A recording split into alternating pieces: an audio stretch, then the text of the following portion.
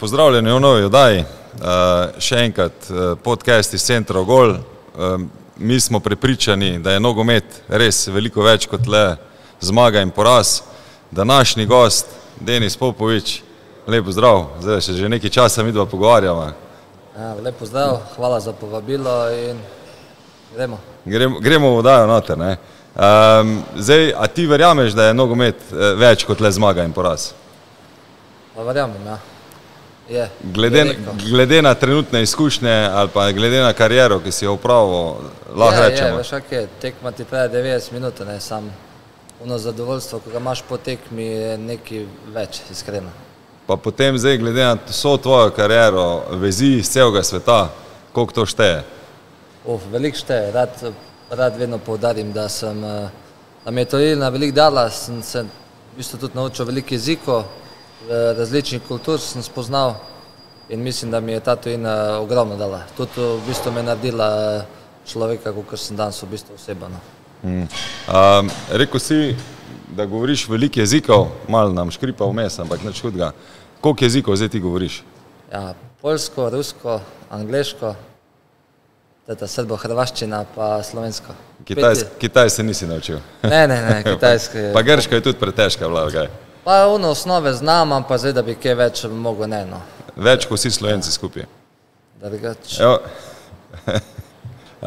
ok, danes snemamo, uh, da še to povemo, ne? danes snemamo v, v salonu A2S v Celju. Uh, hvala sponzorju nogometnega kluba Celje tudi, ne? Uh, tudi ti voziš enega njihovega. Ja, res je, jaz bi se tudi zelo zahvalil našemu sponzorju A2S-u.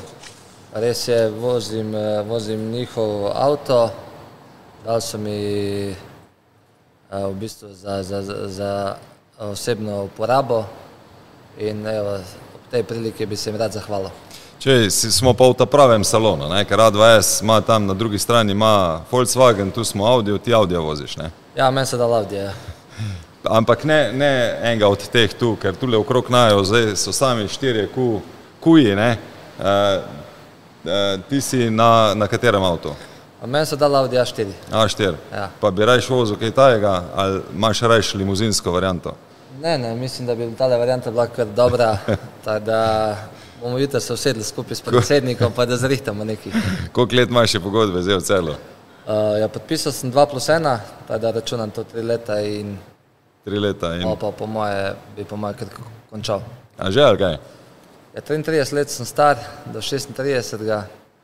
Mislim, da je bilo dovoljno. Rad bi šel zdrav v penzijo. A ja, to si, zdaj glih sem hotel reči, ne, ne- nič poškodb skozi kariero, ne, um, verjetno tisti, ki ste manj poškodovani, lahko dlje zavlečete pol tudi kariero, ne. Ja, res je, no, mislim, neka moja ta filozofija, ideja je, da končam pa 36. Sam, če bom imel pa ono še željo za igranjem, bom nadaljeval. Kot si pa rekel, nisem imel nobenih večjih poškodb v karieri. Tako da, ja, hvala Bogu, upam, da bo tako ostalo do konca in kot si rekel, mislim, da če igralec nima teh poškodb, da lahko si podaljša kariero. Zdaj samo vmes še to, da povem, ne, še vedno smo v, novembru, še vedno so brki, hvala Jaki, pa Onkomen, eh, društvo, eh, ki opozarja in eh, na težave eh, z rakom ali pa predvsem na to, da je potrebno vse preverjati, vse kontrolirati, tako da tisti, ki vas kaj več zanima glede tega, pogledajte eno oddajo, pred tabo Pope smo tole snemali, tako da koliko si ti seznanjen, kaj z Onkomenom še da te vprašam, pa pa gremo od tvojih, tvojega začetka. Ne, pa že od samega začetka vem, ko je, govorimo o Jakatu Jakoviča, ja. ne.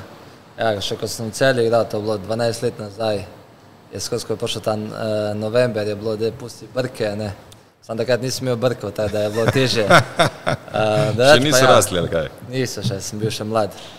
Drugač pa ja, no, Jaka je, kar se tega tiče, vedno bil fokusiran 100% in je tudi na nas igralce takrat prenesel, zato ker je tudi takrat še bil delal v Spincu sindikatu. Ne. Mm. Ok, dajmo mi dva tja iti, kjer si ti štartal, ti si celjan. Celjan, Celjan, začel si v nogometnem klubu, publikum. Takrat je bil to, ravno prej smo se pogovarjali, še združeno, se pravi, zdaj v celju delujeta dva kluba, šampion in publikum in ti si v tistih začetkih, ko je to bilo v bistvu bivši šampion pod okriljem uh, nogometnega kluba celja, zdajšnjega. Ne. Potem je prišla sprememba, se pravi, da so morali klubi imeti v, vse svoje igralce. Ni mog, niso mogli imeti pogodbeno podpisano z nekim do, dodatkom zraven, če tako rečem. Tako da, ampak potem, ko, se, ko je bil ta prehod, si ti kam šel? Si ostal v šampiona, si, ostal, mislim, si šel v šampiona, si šel v publikum? Ne, tako si rekel, ja, začel sem v celju, rejen sem v celju. Uh, začel sem s svojim šestim letom. Uh, takrat je bilo skupaj, sem bila Simer šampion, pa danes enka celja, včasih je bilo to enka publikum. Uh, in mislim, ko smo bili v 13, da sta pač ta dva kluba šla na razen, nista več sodelovala, zdaj ne vem razloge točno, kaj je bilo. In takrat sem se pač odločil, da grem uh, v publikum, uh, ker je večinoma teh mojih prijateljev so šli tam in pač celje takrat, uh, oziroma publikum so takrat igrali že te uh, lige, prve lige mladinska, kadetska, tudi v 14 je bilo, takrat je bilo vzhod-zahod mm. za mhm. nekakšen dans in pa, pač to je bil eno od razlogov, da grem uh, v publikum. Ja ker uh, šampion je takrat moral začeti iz vseh najnižjih lig. Ja. To je pač bil eden od teh, uh, verjetno tudi potem glavnih razlogov za večino igralcev, da je ostalo v celju, ker so lahko tekmovali v, v prvi ligi. Ja. Um, s katerimi leti si štartov? Si začel takoj v nogomet ali je bilo še kak, kak drug šport, predtem, vmes, kakorkoli? Ne, ne, nič, tako sem rekel, ko sem bil šest let star, uh, to se še dan danes spomnim v bistvu pred blokom sem igral na ulici, jaz reč, rad rečem na ulici. Uh, smo igrali normalno nogomet in noč, enkrat je oče prišel do mene in rekel, a bi rad treniral, sem rekel, ja, in tak, na kolesu je bil. Me je dal na kolo, me je odpeljal do te moje osnovne šole, ko je bilo od mene, jaz sem v Najvasi živel, v bistvu še dan danes živim in je bilo do te četrte osnovne šole, ne vem, nekih 400 metrov. Me je na kolesu prpelo, tam je s trenerjem, mislim, da takrat bi celo Jani Žemnik na treningu. Moj je rekel, moj tam bi rad igral in noč. Od takrat naprej se je začela ta moja nogometna zgodba. Tako da ti si en teh celjanov, ko je uspelo mu preko cele nogometne šole. Zdaj danes v celju vas je kar neki v bistvu, ne?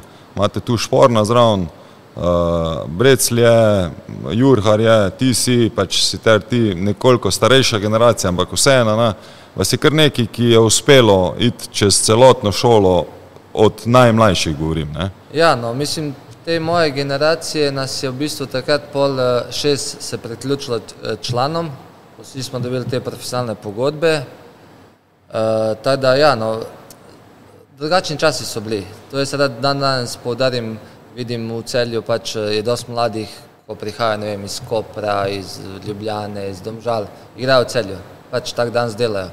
V, mojem, v mojih časih smo bili večinoma celjani ali pa okolica celja. Mm. Da, v bistvu smo se res že, če rečemo, od samega začetka, od šestega leta pa nekje do 16, 18 smo v bistvu bili skozi ista generacija, tada smo bili predvsem dobri prijatelji, pa še le so igravci pa ostala. Mm. Koliko se je v tistem obdobju, se ti spomniš, koliko jih je prihajalo, sploh tam potem, eh, ko se mi pogovarjamo, ponovadi ta U15 v kadete je dosta velik preskok, ti si igral takrat U14, pa so pol malo spremenili zdaj imena, ja. uh, pa potem mladinci pa člani. Se spomniš, ker ponovadi iz U15 v kadete se kar dost novih igralcev iz okolja pride, malo se kalkulira tudi v, v tem smislu, ne, da prehajajo potem v celje v šolo, šolo pač na srednjo in so potem itak že tu in se jih na tak način tudi prvavi. Koliko je bilo prvas tega takrat, koliko jih je prišlo Jaz vem, da ta recimo moja generacija, do 14 smo bili skozi isti, večinoma. Ja. Večinoma isti. Pol pa tako si rekel, ta srednja šola, pa to, takrat je bilo v celju bil nogometni razred na trgovski šoli, če se ne motim. Ja. Pa je dosti igralcev sem eh, prišli igrati v celje, tada so prihajali od drugoda, ne. Mm. Sam to večinoma tudi zaradi same šole, ne. Drugač pa, kot moja generacija, vse so prihajali fanti, ampak večinoma, ne vem, Dramlje, Šmartno, Vransko, Prebold, to je v bistvu tudi, da rečemo, še okolica celja. Ni, mi nismo imeli igralcev, ne vem, zdaj da jaz rečem, iz Kopra, iz Kranja, iz Ljubljane, tega pa nas ni bilo v tistih mm. časih. Če se spomniš, kako si treniral takrat, kakšni so bili treningi, kakšne so bila navodila trenerjev pa tega? Ja, jaz v teh mlajših selekcijah vem, da je bilo večino poudarek na tehniki, na pasu, na sprejemu, tudi do žongliranja, ena na ena, to, kar imam jaz pač rada. Ne. Zdaj, un nogomet pa današnji, to ne moramo primerjati, to sta dva različna sveta. Čeprav meni un prejšnji eh, bolj leži in rajš ga imamo. ne. Zakaj? Pač tak tip igralca sem, em, imam rad te mojstre, razumeš, ni, mislim, imam rad tudi današnji nogomet, ampak une obdobje, ko so bili, ne vem, mojstri, koliko so bili, ne vem, Rik Elme, Rui Košta, Ajmar, ne vem, zdaj da ti Zidan. Veš, to niso bili neki pretirano hitri igralci, pa da so lahko neke tranzicije delali. Sam so bili pa mojstri z žogo v nogah. Pa, miš, da, mislim, občutiš ti, da se je tako pohitrila igra? ali kaj? Pa jaz občutim, ampak spet uh, neko hočem to prilagodim sebe, razumeš? Ko dobim žogo, malo umirim ta tempo, pa to ne. Sam, en trener mi je dober enkrat rekel, veš, ko se je bila fora, v bistvu kao, ne vem, pope ni dovolj hiter, veš. Pa je pa on rekel, ja, on ni dovolj hiter, samo je žoga hitera, ne. To je hotel s tem povedati, da hitro razmišljam in da prav čas delam pasa, ne. Ja. Zdaj, glede na to, da nisem neki pretirano hiter igralec, sem zdaj te svoje minuse probo z, z drugimi plusi, kjer imam, sem probo to skrita. Ne. Ampak- Hvala Bogu mi je uspevalo. Ja, ampak mene zanima, tako, mi dva smo bila skupaj v klubu. Ne? Jaz sem imel ravno ta nogometni razred tudi v celju, tako da smo se srečevala na igriščih, nisem te nikoli direktno treniral, ne? ampak eh, kot eh, najstnik, kako si, kak si ti se, sebe spomniš, kako si ti sprejemal navodila od trenerja, ne vem, pope hitrej, pope sem, pope zapri, pope gor, pope dol. Kako kak, kak se ti spomniš teh na, eh, usmerjanj, pa kaj je te po glavi se takrat dogajalo? Veš kaj, mislim, zdaj si mi tudi treniral včasih, ko ni bilo našega trenerja, veš, da smo, smo imeli skupaj treninge pa to. Ne, veš kaj je bilo, uh, oni so vsi vedeli, da sem tehnično dovolj močen pa to, ne. Sam tisti časi nisem imel te fizike, da rečemo, ne. In zdaj, skozi mi, so me podali ne toliko driblati, veš, in ono, po domače povedano mi je šlo na živce, da mi hoče vzeti to, to kar imam, ne. Zdaj, z te perspektive, z današnje, ne, vem, da so mi hoteli dobro, ne. Sam takrat si pa še mlad, pa to, pa misliš, da si pametnejši od vseh, ne. Tako Da sem imel malo težave s trenerji. A si imel, do, do katerega leta si imel težave s trenerji, da te tako vprašam? Tudi pol, ko si v člane šel, Večinoma so me imeli trenerji res radi. Sam veš, eh, imel, vedeli so kako pristopiti do mene. Ne. Včasih veš, ono, en trener ti pusti svobodo, delaš kar hočeš, a ne sam je pa vedel, da včasih da je treba po meni, je bilo kar po meni. ne. Uh, jaz se spomnim, glih sem včeraj gledal tvojo oddajo in se razmišljal, kje je ta prelomnica bila. Jer je- mislim, da je bilo to zadnjo leto mladinske lige. Eh, trener je bil Franci Oblak, ga pozdravljam eh, z današnjo tole oddajo. In v glavnem on mi je rekel, me pred začetkom sezone me vprašal, ker jaz sem včasih igral š- napadalca, pa levega vingerja, ta sredino te, te niso radi delali Ja. zaradi duela. Ne? duela. Samo on me je vprašal pred, pred začetkom sezone, ali boš igral vingerja ali pa zadnjega veznega. Jaz gledam, ki je zadnji vezni, veš, ni to moje. Ne. Je pa rekel, ho, hoče imeti to, da igramo nogomet in dovolj si močen na žogi, bo že ti s s tekmam, pa to vsak dan bomo delali, delali boš, ti bo prišlo navado, pa boš delal. In sem rekel, ok, je, mi je pa garantiral, da bo na zadnjem vez, veznem skozi igral, na vingerju pa odvisno od forme. Ne. Ja. Mislim, jaz sem takrat sprejel, da bom igral zadnjega veznega. Tako da sem celo zadnjo sezono mladinske lige sem igral na zadnjem veznem in še kot zadnji vezni mislim, da sem dal ne vem, 13-14 golov. Imam še tu nek statistiko. To, Eh. ja. Kot zadnji vezni sem tudi bil uspešen, kar se tiče golov. Tako da v zadnji sezoni ja, si dal 12 golov. Ja. 12 golov, viš. Ja. Kot zadnji vezni. Se pravi, se rad vključuješ, pa Frank te je pustil, da, da greš lahko zraven. gor. Ne, pustil mi je iz drugega plana, da lahko prijem, veš, mm. to mi je pusto. Sebe imel takrat, ali- ta je bil Kuljana, če se spomniš, ali pa Kraljič. Ona dva sta bila bolj ta defenzivna vezista, jaz sem pa lahko.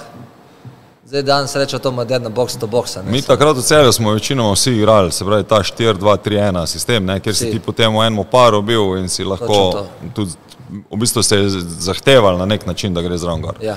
E, a si ti kot v tem cajtu že uporabljal, okay, ne vem, da si več treniral, da si dodatno treniral kot mladinc? Ja, zdaj je bilo to mladinca, smo bili že člani. kot mladinci zdaj ne, ne morem ti trditi, to je bilo skozi ulica, mali futbal, turnirje sem skozi igral, čeprav je bilo prepovedano, mali futbal obožujem. Ne, to iskreno ti povem. Jaz, Ne, ni, ne. nisi prvi, nisi zadnji, zagotovo jaz- ne. ne. Da, da, da bi bila zbiro, da je recimo isto tu finančna situacija v malem nogometu in velikem, nikoli ne bi bila velika, samo malega bi bila. To mi je največja ljubezen. Reč pa, spomnim se pa člani smo z Dejanom Krljanovičem, mojim dobrim prijateljem, smo, smo imela že takrat osebnega trenerja in smo doskrat, eh, dvakrat do trikrat na teden smo trenirala individualno. Čeprav zdaj nismo mi, dvo, mi dva zdaj to toliko okrog govorila, ampak smo res Ja. dosti trenirala. Ne.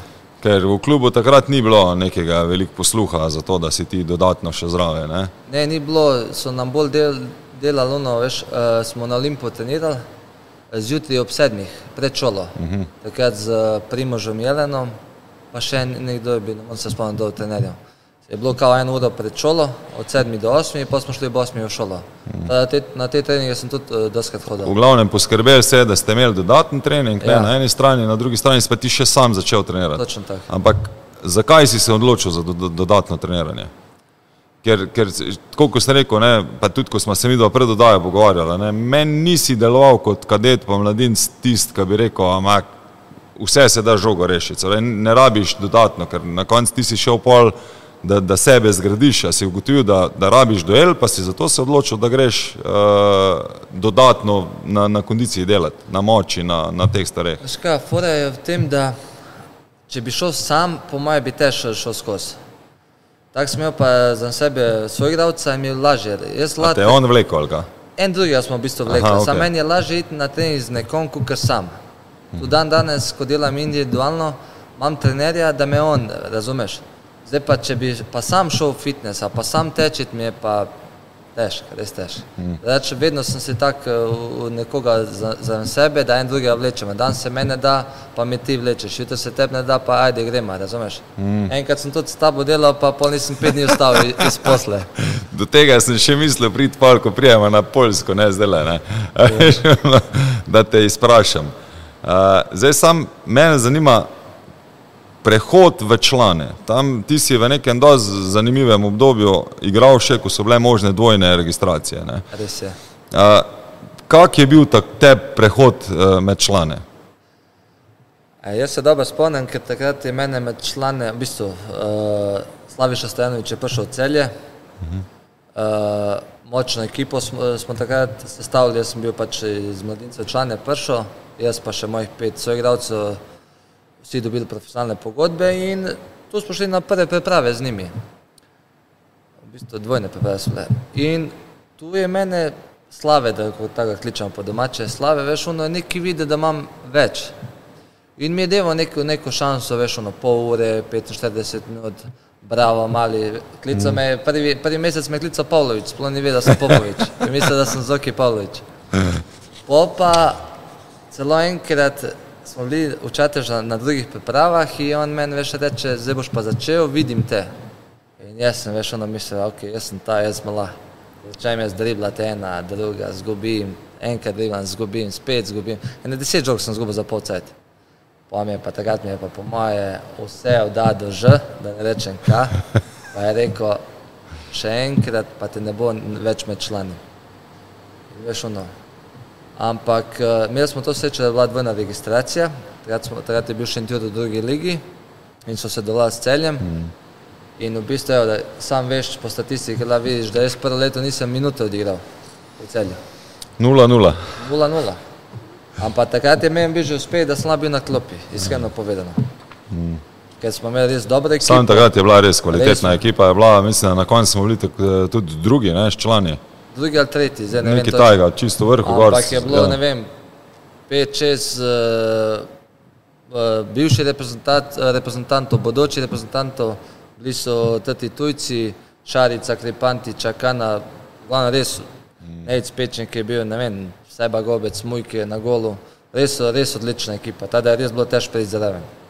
Ker v drugi sezoni je pa zanimivo, da si igral pol v drugi ligi za Šentjur, pol tekem si pa igral že za cele. Ne? To je bilo pa, veš, kakva pa ta zgodba. Uh, oddelal priprave, dober igral, vse je prišel Milan Đuričić, če se ne, mo- ne, ne motim za trenerja. Pardon. In imel sem to željo, da igram. In recimo, ne vem, igram neki, ne, eno tekmo, dve za celje, tretjo, četrto ne igram. In ono tretjo, četrto, ko nisem igral, sem sam govoril, rad bi šel v Šentjur. In pol mi za tega sem imel več tak, on, da sem balansiran. Ne. Da sem, če pogledam sezono, ne vem, sem imel pol 30 spet tekma, ne. Ker- Ja, ja, na koncu si imel, pač ti imaš 32 nastopov, šest golov, zdal, pet si jih dal v drugi ligi, eno si dal tudi prve, ja. Prvega v, v prvi, pa se spomniš proti komu, po mojem. Koper. Ta najbolj Koper. sladek, ne? Ja, ja, Koper. Še, se- vse se spomniš, kdo je podal.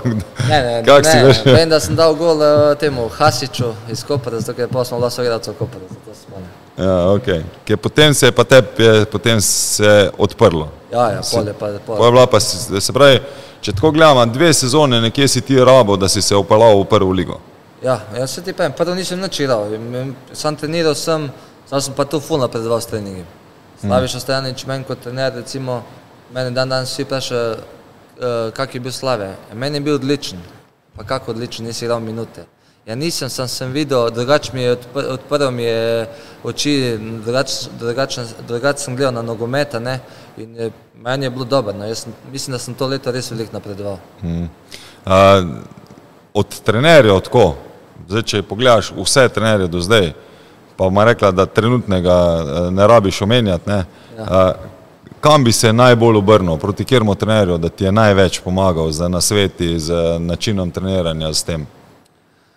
Zdaj veš, kak je, imaš, imel sem veliko trenerjev v karieri, ne. Vse zato. Recimo ta en uh, Poljak, Moskal, pa njemu sem res užival, zato ker ta Visla Krako, oni imajo to neko filozofijo tika taka. Sam nogomet, ono tika taka, ni, ni dolgi žog, sam držanje. In to meni je ležalo. In on mi je veš popolno svo- svobodo dal. Pope, spremi naprej, obrači, deli, kaj hočeš, imaš popolno svobodo. Kar se tiče defenzive, sem pa točno vedel, kje je moje mesto in ni sploh dovolil, da si šel, ne vem, če mi je igralec izpadel, da sem šel pokrit. Ne, ti se svojega drž in je čisto enostavno. Pol imel sem, ne vem, pri, pri tem v, v, v Samari, grof Božovič, ta odličen trener iz Črne Gore, on je bil v Rusiji tam po najboljših klubih, pa sedem zvezde je osvojil prvenstvo, pa tako. On je bil pa ta gospod, veš. On ti je pa, on je imel pa tak nek prijateljski odnos, ampak res smo imeli vsi spoštovanje do njega, ne. In on, jaz, ko, je, ko sem prišel v Rusijo drugič, sem igral super, je vse bilo top, ampak takrat je začela se uh, korona, pa smo bili zaprti na bazi 14 dni. In on je v bistvu vsak dan klical, več kot da me je oče klical, veš ono, rabite kaj, so fanti ok. Res je imel, ta, prav gospod je bil ono. Pol pa, imel sem tega enega isto Rusa, ko je zdaj danes v CSK Moskvi trener. E, Ta je imel pa atmosfero, veš, ta, ta je pa res znal, e, veš, ono, ne vem, jaz zdaj gledam z te perspektive, on je meni znal reči, kak si, sem potrujen, a ponedeljek, do srede, da te ne vidim na treningu. Reče, "Me s- pa se, ne, masaža, sauna, spoči se, jaz te samo soboto rabim.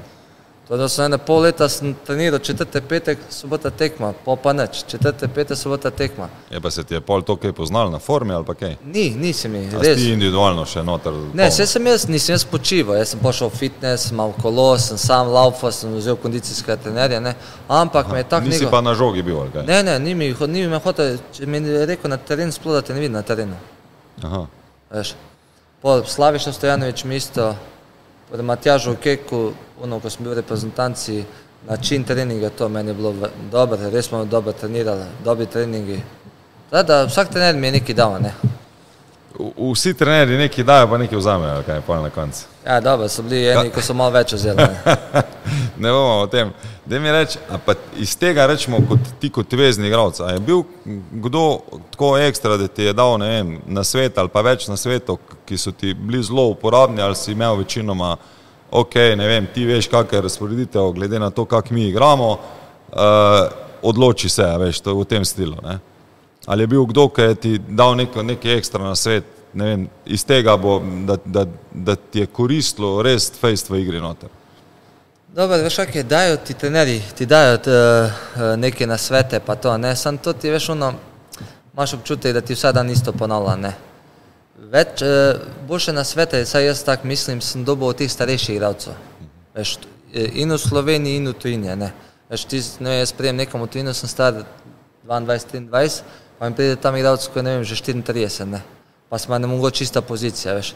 In on ti vsak dan ponavlja, da bo meni lažje, pa tudi njemu. Recimo. Jaz sem imel primer, da sem večino igral tujini to desetko, je ti starejše špice so mi skozi govorile, pope, ko, dobim, ko dobiš žogo, moje, moje gibanje bo tako, bo to, jaz ti na, pridem, če ne grem, ti pridem. Ti, in pol te neke osnove ti pridejo noter in pol ti vse v bistvu lažje, tudi na samem terenu. Ne.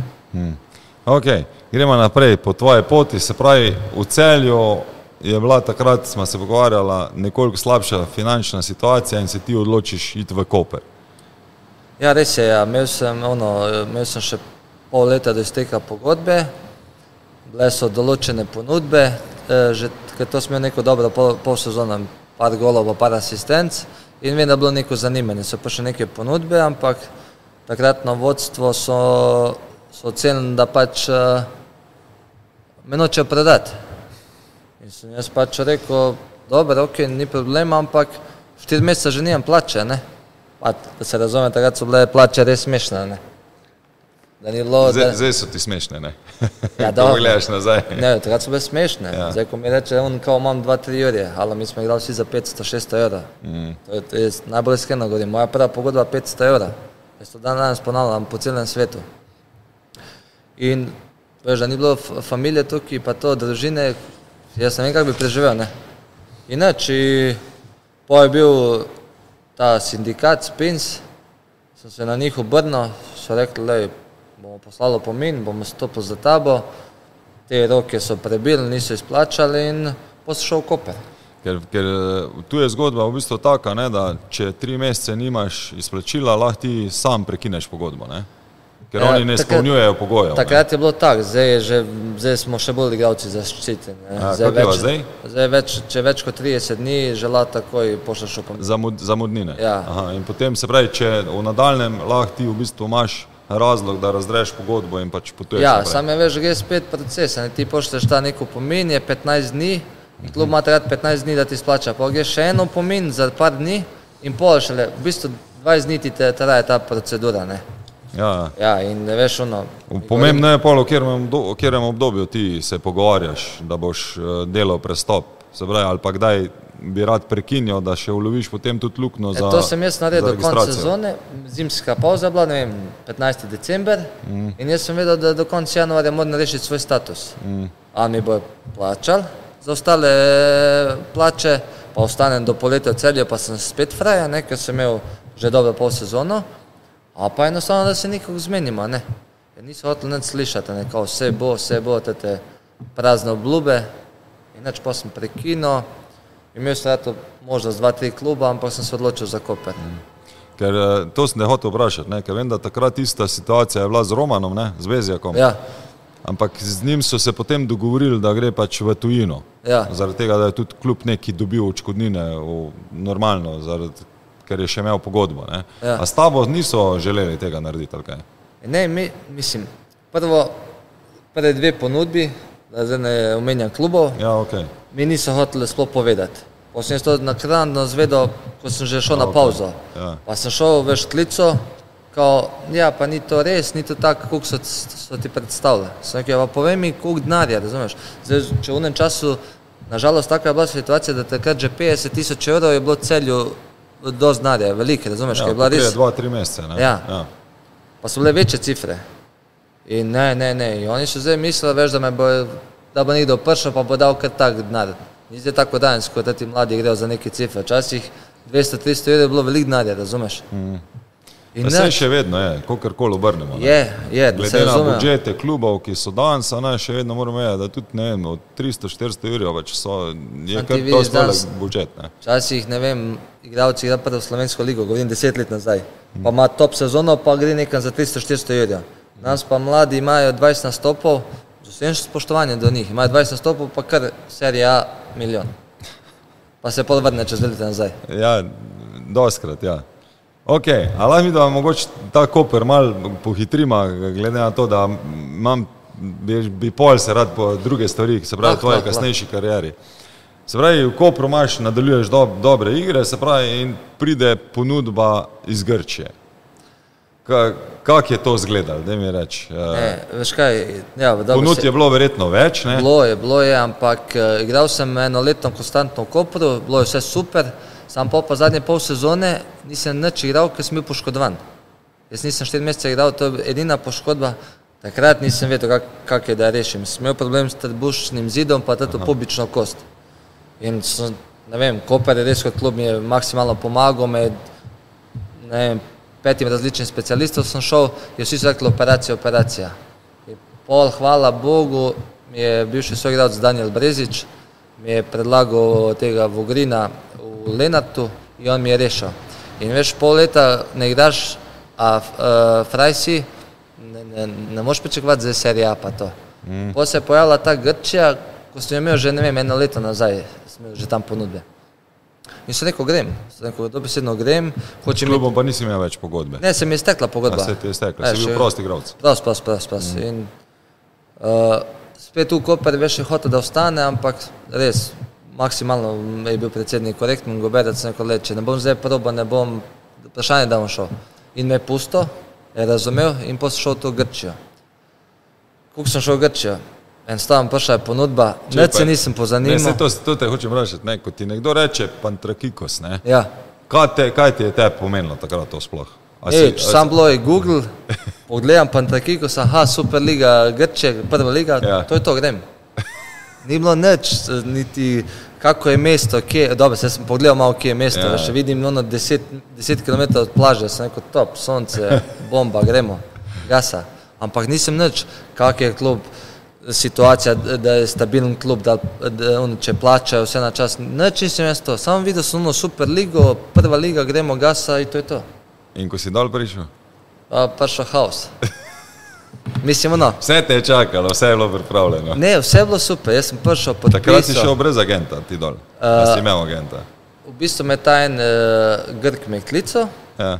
mi je poslal ponudbo in zdaj, da sem na nek način zaščitil sebe, sem tukaj enega agenta iz Slovenije sem aktiviral, da bo zraven vodilo.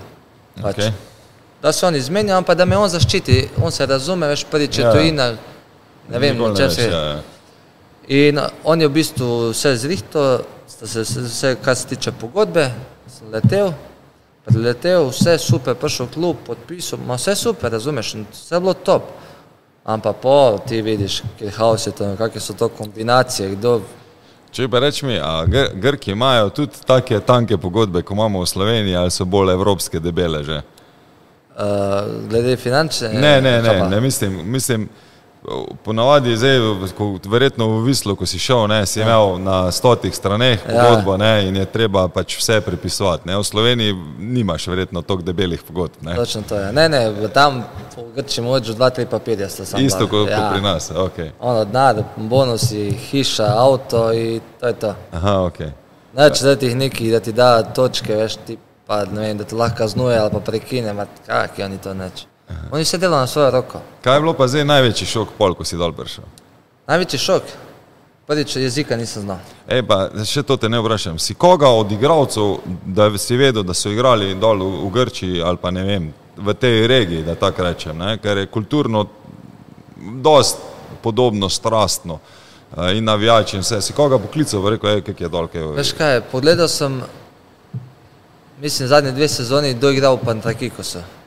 Igral je ta en uh, Črnogod in tu prek nekih prijateljev sem prišel do njega, ampak nisem se direkt z njim menil, ampak ta prijatelj je poklical tega igralca, on je povedal, kak je klub, pa to, to, to in mi sam nazaj pač dal neke povratne informacije. In to je bila edina informacija, ki sem imel v klubu. Ok, zdaj pa oni šokovi, ko, ko pridejo, ko si nepripravljen. Jezik, Nisem znal jaz rekati angliško, nič. a tudi z, Nič, tudi z nič. angleščino si imel. Pridem, edini Balkanc v ekipi. Sami okrog mene, Portugalci, neki Brazilci, ne, gledam jaz, kaj je to stari. Inače, vse ok, vse prvi teden so še vsi do tebe, veš ti. Ja. Popa, ko dobiš avto, znajce, neko pa stanovanje je to. Ja, mi bomo plačali najti stanovanje. Kje naj najdem stanovanje, ne pozna nobenega tukaj. Sam pozmem do, se. do tu si bil v hotelu še? Ja, v hotelu Ja, vse. okej. Ampak pa sem imel posreče, da je prišel ta Dino Šeremet eh, iz Ljubljane, Golman, in on je znal grško in on mi je tudi dosti pomagal. In neč, pol, ono, priprave, oddelam to, po ono, in zdaj ono, hvalijo me vsi, da moram začeti, jaz prvih pet kol minut ne igram. Ampak jaz ne razumem, na grško ne, često ne gledam. Kaj se dogaja, ima vse bo v redu. Samo da mi pride po enem mesecu pa pol trener, da sem jaz bil edini igralec, ko ga je trener hotel, drugi je vse športni direktor pripeljal. Mi reče, trener, veš kaj, fizike ti fali, kaj bi šel ti na kickbox? Na kaj? Pravijo me na kickbox. Kam? Je rekel, tu imamo v, v mestu dvakrat na teden. Po pa Dino bil tu prevajalec, sem rekel, le Dino, povej ti njemu, da jaz sem nogometaš, če bi se hotel fajtat, bi ostal v, v Sloveniji, pa bi tam treniral to, to me ne zanima. Ja, ti si trdoglav, ti si tak, ti si tak, sem rekel, ne, jaz hočem sam fuzbal igrati. In neč, to je bilo pol leta, nisem nič igral, ne 5-6 tekem, sem samo delal mesec dni vse skupaj tam za pol leta. A veš kaj je največja fora? Ko smo največjo pogodbo v klubu. Največja, evo, Sam to je pa pol pritisk na trenerja in na. ja, in na največja športnika. pogodba. Ja. In oni hočejo mene nekam na posojo, tam nekam v drugo ligo. A meni je že tudi Grče čez glavo bilo štisno. Gremo, ampak gremo v nek drug klub, ne bomo šel v drugo ligo. Pritiski, da je to, da je to. Prijem v klub, pa mi da na mizo denar, eno plačo, kao evo ti plača, pa kao da se zmenimo, da greš na posojo. Ne. Prije drugi dan te kliče, evo ti plača, prekinite pogodbo. Sem rekel, ne, ne bo šlo tako. Da bi na koncu jaz uspel se zmeniti za prekinitev pogodbe, da mi je, ne vem koliko, takrat sem vzel 3-4 plače na pameti, zdaj govorim, Koliko si imel pogodbe? dve leti. Dve sezone. In on mi da takle dan na mizo in kao podpiš papir. A sem bil tudi malo namazan, sem rekel, ne, ne, ne. In me zdaj lepo na banko, ti lahko z mano, sem rekel, ni problema. Dam jaz na račun denar, pošljem jaz v Slovenijo in ko vse tako treba, Zaključeno ti bom podpišeš. podpisal. In on me je tako, ja, šef je bil tak, je bil, je bil mafos neki tam. E, kaj pet? In jaz to se zrihtam, ono, dam papir temu, podpišemo že v banki, prekinite, dam, reče on predsednik, bi te rad videl. Sam reče njemu hvala, sem dal, da gospodin sem šel gor v office, Sam da greš ven. sam da grem V domov. glavnem Grčijo se ne vračaš. v Ma ne, meni je bilo lepo, življenje je top, razumeš, ja. da so blizu nam, vsak dan, po cel dan pijo kavice, uživajo, veš ti, se- klima vrhunska, hrana dobra, res je super. Ostalo ti je bilo ok. Ne, bilo je ok. Trening center pa to tudi. Ja, dobro. bil je, smo imeli en, dva, tri terena, noter sem imel uno, džakuzi, bazen, hladna voda, fitness, eh, zajtrk, sem imel vsako, vsako jutro sem imel zajtrk tam na bazi. Bilo je ono pošlihta, mali klub, ampak je bilo pošlihtano, razumeš. In še to sezono smo dobro igrali, smo bili na koncu ne vem, ne sedmi, veš, to je z vsem poštovanjem do, ne vem, do, do tabor Sežane, kot da bi zdaj tabor Sežana bila tretja v slovenski ligi. Sam ti smel sam tri nastope. Ja, pa še dal pokalo. E, sem rekel, pet, pet ali šest. O pokalu piše en, mislim, da, da je bilo. Ne, ne, ne. A je bilo, sta bila Dve, dve. Ja, Še to okej. sem imel srečo, da sem drugo igral 120 minut. Da sem lahko minute nabil. da si nabijal. Okay. Uh, kaj si se naučil iz te prve tujine? Spred tujine? Da si pol v naslednji, se pravi, naslednja ti je Poljska, ne? Ja. da si, da si mal več pregledal stvari. A si, zdaj ko si šel na Poljsko, vsem Nisem. pregledal, kako je mesto naslednjo, Ja, to sem, klub. to sem malo bolj pogledal, pa nisem se še tu nič naučil, iskreno. Aha. Ni- Nisem se kaj veliko, malo sem se naučil, veš. In pol je, pravim ti, prišel sem domov, ta konc januarja, sem prekinil in imel, veš, imaš, če si fraj igralec, lahko ti februarja podpišeš. Pol neke ponudbe, ne vem, Kazahstan, Belorusija, veš, take neke države, ko niso, da rečeš nogometne. Mm. Kaj bom in pride neka poljska prva liga. Super, veš, ono, na Evropsko je bilo na Poljskem 2-12, če se ne motim. Ja. Novi stadioni, pogledaš vse super. Neki ne gre čez, druga liga. Klemens, kakva druga liga, veš ti. In sedim doma in oče mi reče, kao, "E, zdaj, a, boš ti še igral fuzbal, ne, sem rekel, što bom igral. Kao, ne možeš biti fraj. Pa rečem jaz njemu, lej, jaz grem zdaj na, drugo, na poljsko drugo ligo, bilo je to glih tri mesece, veš, do, do poletja. Do, Aha, da odigraš. Grem da odigrat, ne vem, 13-14 tekem je bilo, grem odigrat, če mi je rata, super. Če mi ne rata, se vrnem v Slovenijo, igral bom v Sloveniji, če bom imel, kak klub, mm. to je to. Rekel on, ok. In da ti povem, da mi je bila to najboljša poteza. Zakaj?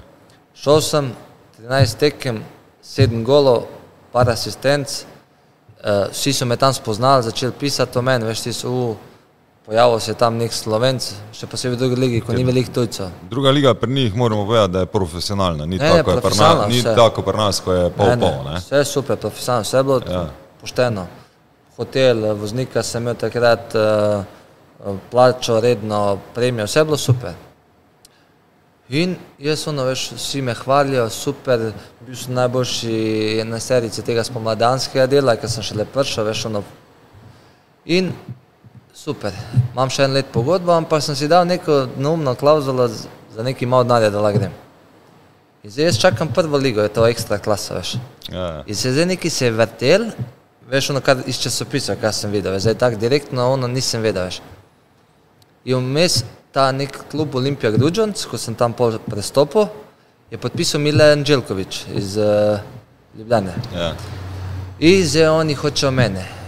Jaz zdaj nočem iti, ker je to gor na severu Polske. Od tam, ko sem pogledal, sedem ur vožnje, veš, ti, kje bom gor na sever Polske, še ono pogledam mesto, da sem pa že malo gledal, veš, mesto, ono, katastrofa.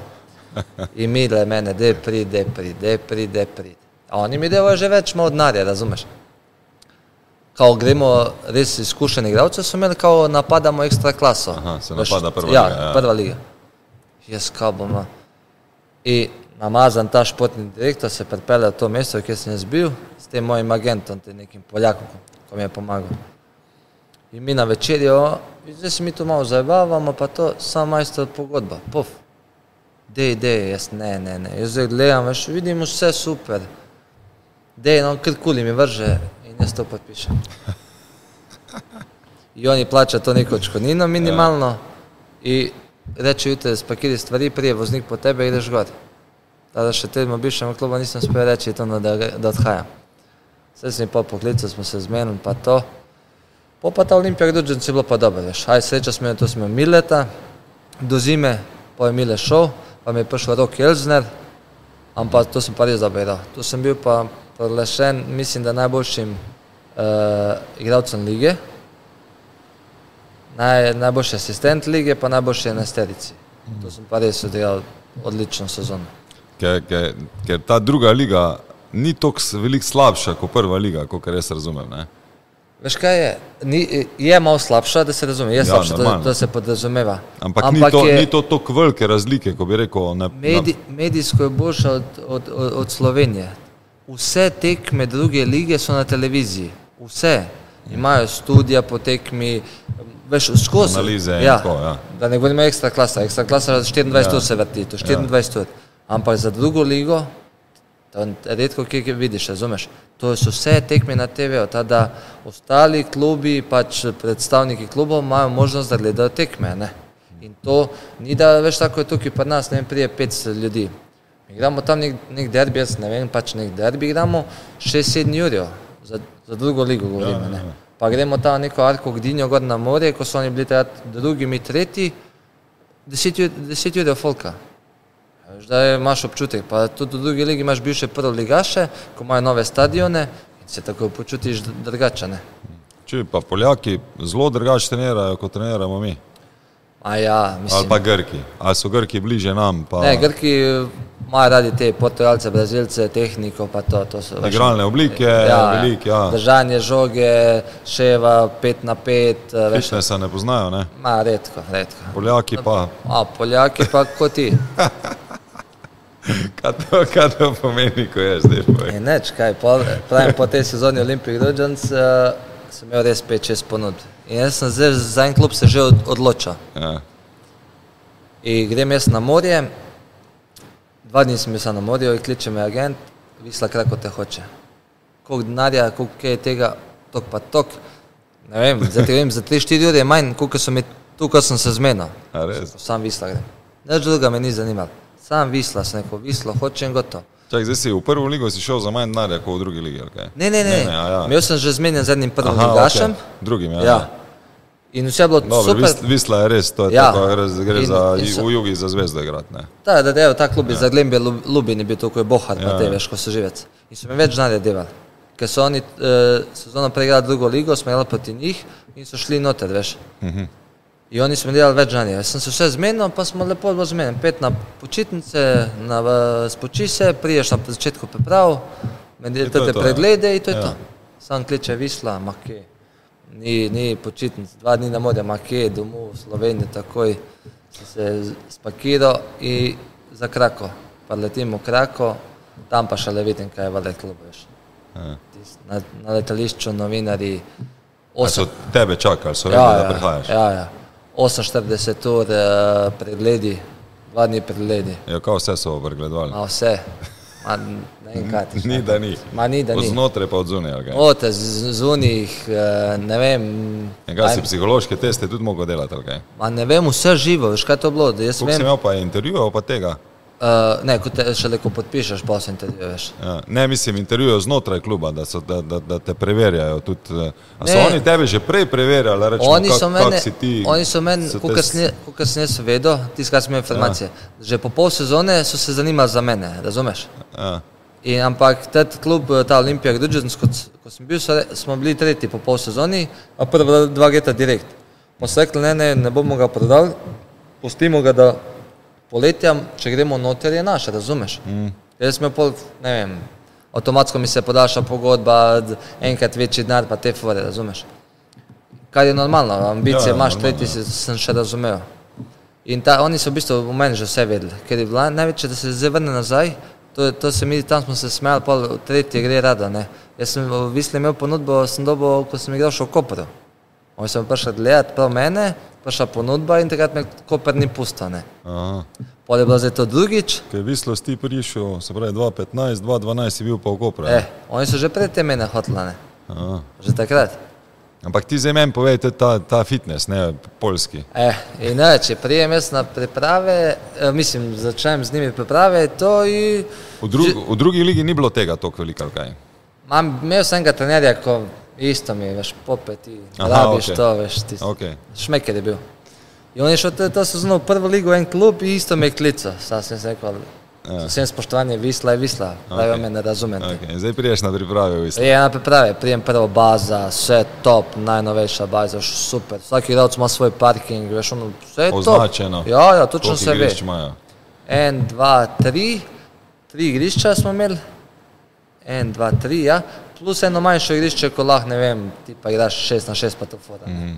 Sam za nas. Kaj to zdaj pol, je tudi, eh, so sobe tu, da lahko ti si v Ne, bazi ne, tudi sob- spiš, pa sob pa to nismo ni. imeli, ne, Restauracija pa tega ni. Ne, zraven je bila restauracija, tam smo jedli zajtrk ali pa po kosile. Kosila, potem, ja. ja. Okay. In uh, prijem tam in vse ono, uh, ti testi so bili ok in kao, si delal kaj fitness, jaz pa šel na bio, ja, delal sem, veš kao. In majster mi da fitness, neke počepe, poskoki, ono, kot da tebe gledam, veš, ono, tvoji treningi. Stari, ko sem se jaz do dan zbudil, nisem mogel izpojsle. Izpojsle do WC-ja nisem mogel, pet minut sem rabo, prijem jaz na trening, a to je mogoče moj drugi, drugi trening.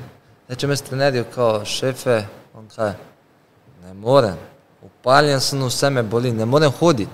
On se začne smejati. Jaz ne-? Ja, rekel, sem, kaj se smi, veš ono, si mislim, kaj se smiš, veš, ne morem hoditi. Je rekel, ne, ne, dva dni boš sam Odmaraj. malo kolo, veš, prekrvavitev pa to, pa boš prišel ti nazaj, veš, ti si. In posel me doziral, ker on je meni, on je bil, veš, spet, jaz naredil napako, on je mene vprašal. Ja, jaz sem rekel, ja. Če bi jaz rekel pač ne, bi on dal meni manjšo, eh, manjšo eh, kilažo, Ja, ne. normalno je. Veš, jaz pa se ti prijem. spomniš, ko si prišel v fitness? Jaz, se- jaz, Jaz sem pa te delal na polno, Ene, ne? ene parkrat si Ja. že povedal to zgodbo, ne v podkastu, ne, ampak tako. Ti prideš in mi treniramo, in ti, ala grem zraven, in jaz popela gre zraven. Sandej, bod pameten, to, kar oni delajo, ti 60 posto. I kilažo, i ponovitve, in vse. Veš, kaj si ti meni rekel? Pa jaz sem profesionalc, jaz Sam lahko sem vse delal, ne? vse si Vse naredil. isto kot oni. In Jaz gledam, jaz se smejim, že, že med treningom sem se smejal. Jaz sem ti rekel, naslednji dan sam pridmi v fitness, jaz bom zjutraj tam, bomo sam regeneracijo naredila, ker itak če, čez dva dni ne boš mogel hoditi. Zjutraj te kliče, kje si, ne se ne javljaš. Nisem mogel javiti. Ampak ono od tvojega treninga, štiri dni se me vse boleli. Štiri dni me vse Ja, boleli. se sam pa bi mogel isto, vsaj na kolo bi mogel iti nekaj, bi mogel, veš. Da. Jaz hotel iti hoditi tam okrog bloka, da grem na kavo, nisem na kavo mogel hoditi, majster, škak me vse me bolel, majster. Vidiš, sem te pripravil za Polsko. Ja, si, ja, se, zato se pa na tebe spomnim tam. Ok, da bi reči, Visla, v, glavnem velik klub. Kaj to zdaj pomeni, hitrost igre, dueli, Poljska liga napram nam? A tam je fizično dosti ful močna. Ker tudi v fitnessu pa zelo Ja. veliko delajo. Tam Ja, vem, da vsi delajo, to je že vsi. Uroš Korun rekel, ne? ko Vsi, smo ga vsi. isto imeli tu, da ni brez velikih kil treninga. Mislim, Ne, ne. dvakrat, trikrat na teden obvezno je, so velike kile. Ne? Mi smo imeli, do, mi smo dosti prakticirali uh, to v času priprav. V toku sezone sem imel pa vedno dva fitness trenerja v fitnessu in zdaj vsak delo igralcev pol po želji, razumeš? Hmm. Imeli smo mogoče enkrat na teden, ne vem, tipa torek, če tekmo soboto, torek smo vsi delali, pol pa na teren, drugače pa so te Poljaki, oni so vsak dan delali. Ja, oni sami za sebe. Veš, jaz sem unga enega kapetana imel, Bobanjovič je bil z mano isto tam, veš, nama Ja. je bilo super, ko smo bila skupaj, ne. In on je tak še nekaj delal, jaz pa od fitnessa sem bežal, veš, kot, kot korone, majster. In imel sem kapetana enega, res legenda, najboljši štoper po v moji karieri, sem imel. Ja. Veš, jaz bi ga dal najboljši 11, če bi mogel zbrati, ne. Majster si je kupil, veš, Poljak. Poljak, igral v Trabzonu, spodobno, ko se je Ligo Aha, šampionov. okej, Majstor je kupil sune copate, veš, ono, ko ima oni, ko meče. Aha, za Prav- naloge pa za- za To, poteg. pa one, fore, pa ti. Upremo ima majstor, kot da je f- fit, tetle, kaj je bodybuilder, ne pa. V bistvu dvigovalcu teži. Ja, ja. veš, kaj je majstor delal, jaz ga gledam, glova smo, klicam se, on glova. Pa on je delal to verjetno tudi na, na dan tekme, je delal samo aktivacijo. ne? Dan pred tekmo je skozi delo ne en kukil in sam to da. Ja, ampak to je naredil, ja. Ja, ima malo serij, ja. Ampak on ti je- ponovitev, ena, on ti je vsak dan od ponedeljka do petka bil v fitnessu. Mm. Pred treningom, vsak dan. Kak je bil pa na terenu, pa v duelu? Ma ne, maj se, ne, jaz ko dobim žogo, da on pride, jaz se spustim, jaz iskreno povem. Beži stran. Znaš, kaj to dela majster, to si ti. Ampak je pa, veš, ono, srčen za ekipo, Pa vse. tehnično je bil ok, pa tako. Ja, on je bil takrat že star 36, 37, on je igral do 39. Ultimatere. Ampak veš, kak to, ma, ne vem kaj reči, tako reče, tam ko glova udari, trava ne raste. Veš, kaj je bilo to majster, res takega štopa nisem imel. Ampak je bil dober, veš. Poljaki so, na začetku so full hladen narod, veš. In dokler se ne naučiš jezika, ko se pa nauči, naučiš, te pa spremijo. In pol še da ti razumeš, zakaj so oni taki pa to ne. Tako da meni je bilo tam res lepo in nismo imeli nobenih problemov. Samo tako, da se vrnemo na to, kar si rekel, fitness, ima to, kar radi, majster, da glava boli. To je neverjetno. Drugač pa oni grejo v to smer, se pravi, igralnih oblik, čez cel teden, ni velik teka, suhega. pa Ne, ne, ne, ni, ni, ni, vse je žogo. Vse ti pravim, jaz, mi smo še tega trenerja, ko imajo rad to tika taka, razumeš, ne? In to se igra od zadnje linije, golman, štoper, veznemo, veš, ni zdaj preskok igre, tega sploh ni, ne? Tak nek modern futbal. Modern futbal. Uh, ampak, uh, da pa vsi delajo, da so vsi fizično razviti, so, realno so. Nimajo pa mogoče toliko tega tehničnega znanja, ta da dosti igralcev z prostora uh, Balkana je uspel gori. Mm. Mi pa na to foro smo šli skozi, veš, zalomiš, ne vem, daš zadnji pas, ja. pa to, veš, dobro, dobro prekinitev, pa to veš take fore, tega pa nimajo toliko. Sam pa vse nadoknadijo z borbo, z željo, z delom, veš, pa to. Da mi reči, ko, ko si v enem takmo velikem klubu, koliko ti čutiš tudi drugačen pritisk na to, da moraš zmagovati in da je vsak poraz, da je, da je problem. Veš, kak je, ko ti njih sto prije na trening, vsi dva metra, tak pa tak, dva metra, široki in visoki.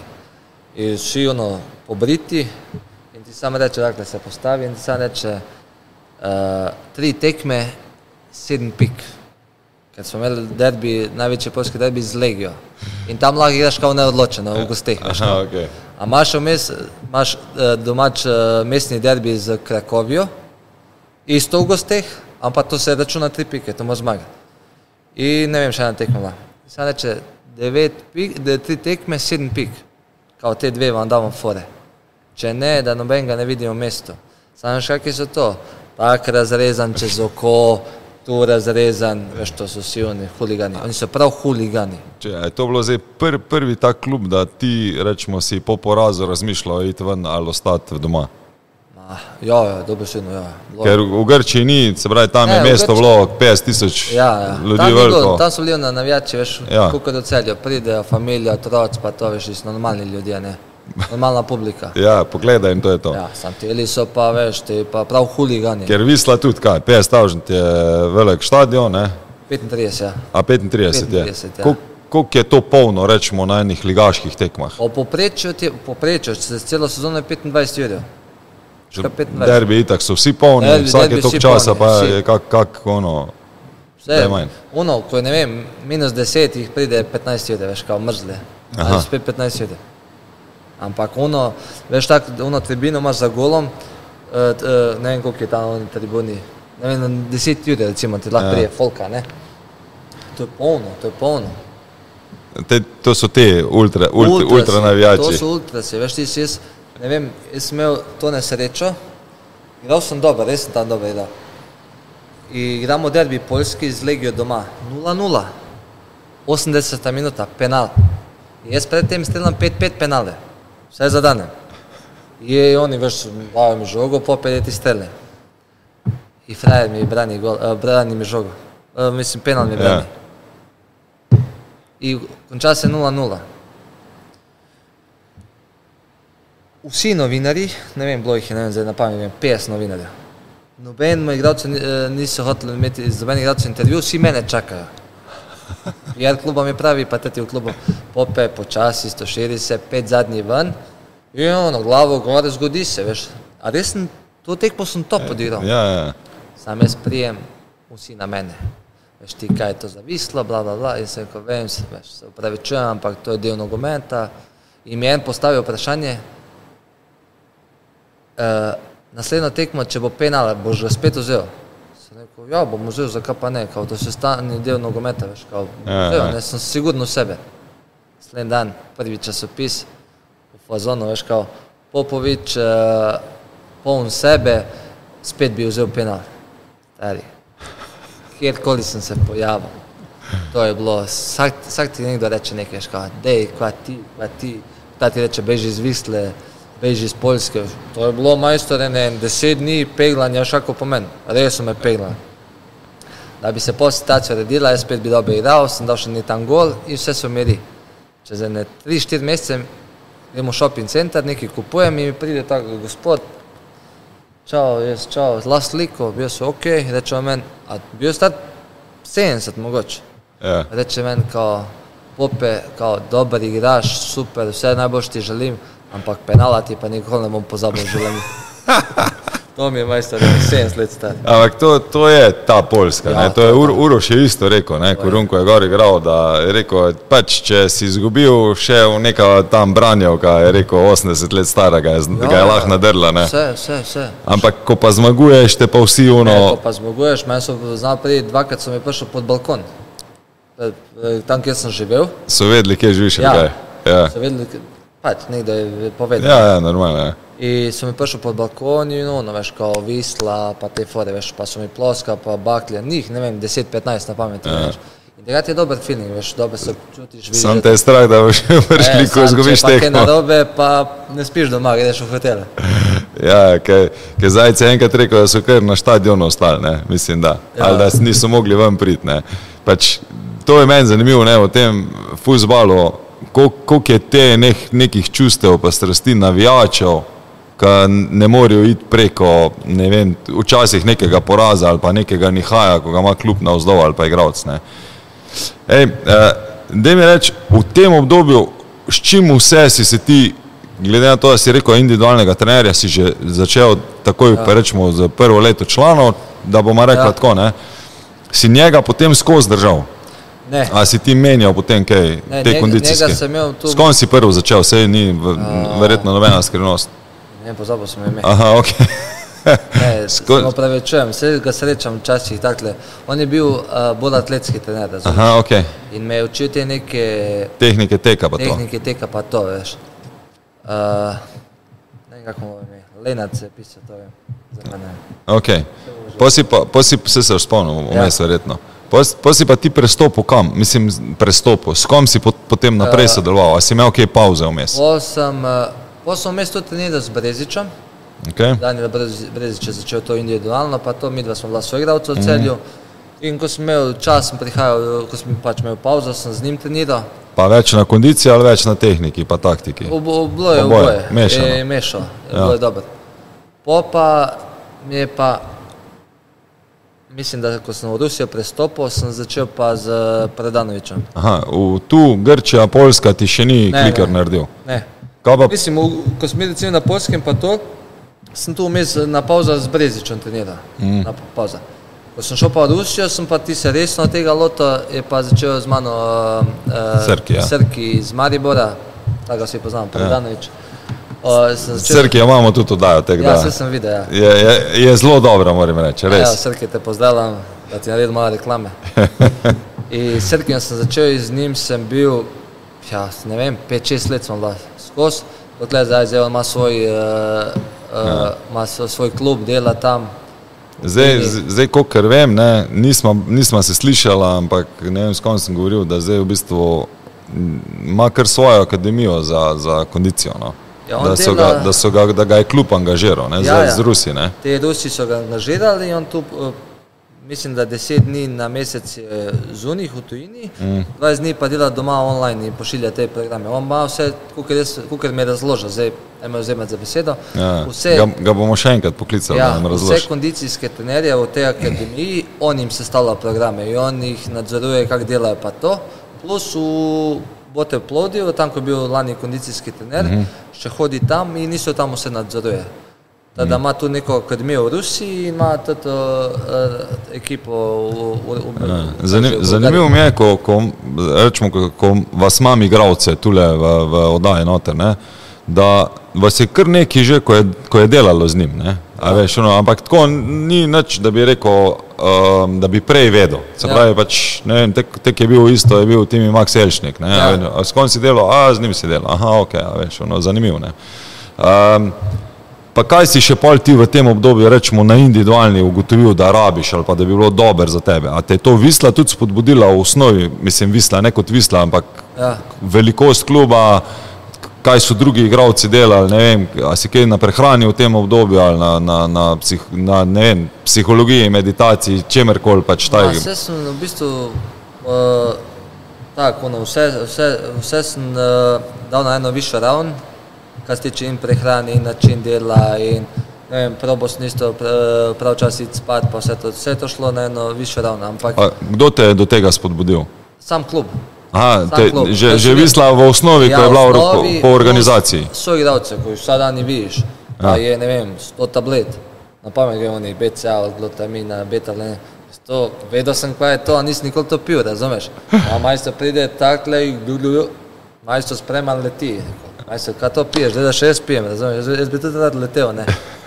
Potem smo z njimi začeli delati, imeli smo tam enega dobrega, tega, eh, sam fitness trenerja, veš, in on, vsake tu cajta, veš, prišel do mene, da je pope, veš, imaš nekaj več, da še malo deli. In pol, veš, delam z njim dvakrat na teden, ampak kaj ti hočem povedati, v teh velikih klubih ti že moš priti na priprave, koliko je to pripravljeno, razumeš? Ker ti, če priprave ne oddelaš toliko, koliko je treba, ti trpi cela sezona. Ne, zdaj ti kot igralec, da trpiš na terenu, trpi ti tvoj status.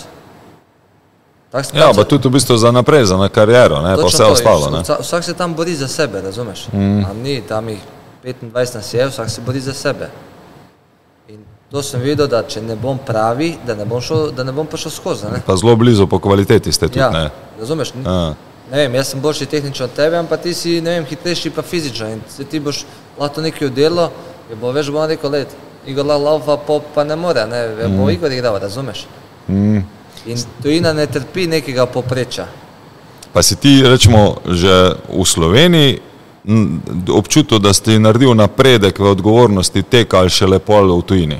Ne, vse sem tudi v Sloveniji. Sam šele, ko sem začel na konstantno igrati, eh, konstantno igrati ja. ne. Ker jaz ravno to, ne vem, ko smo se pogovarjali, ne, da meni je bilo fascinantno te zdaj videti v celju, ne, koliko, se, koliko so tebi krajši momenti po izgubljeni ali pa po osvojeni žogi in da takrat, ko tečeš, res tečeš, ne, včasih se mi je zdelo, ko sem te gledal, ne, da malo kalkuliraš, še, veš, Ja, ja, ja. mogoče mi pa ne otreba, ne, ali Ja. pa se ni, ni tako nevarna situacija ali pa kaj od tega.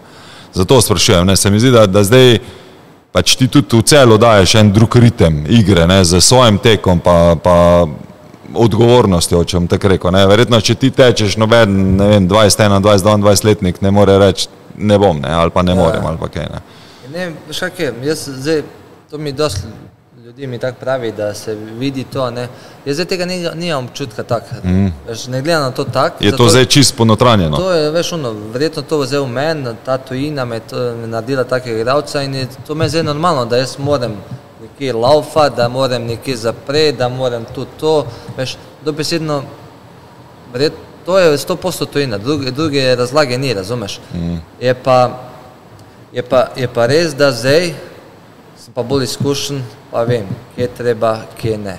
Da je treba stopiti na žogo, da je treba, da imam ritem tekmi, razumeš? In verjetno sem tudi zaradi tega pripeljan, recimo zdaj v celje, mm. da pomagam mlajšim igralcem, ker oni morajo tudi čez to neko zgodbo, kot kasneje šel, razumeš? Ja. In če imajo od koga, da se učijo, jim je to laže. Tako sem jaz imel, ne vem, to srečo ali pa privilegijo, da je bil na enem v klubu Zoran Pavlović, ko je bil, vemo vsi, da je Zoran Pavlović, odlični igralci, on me je vzel pod svoje in jaz sem se z njim veliko naučil. Velik.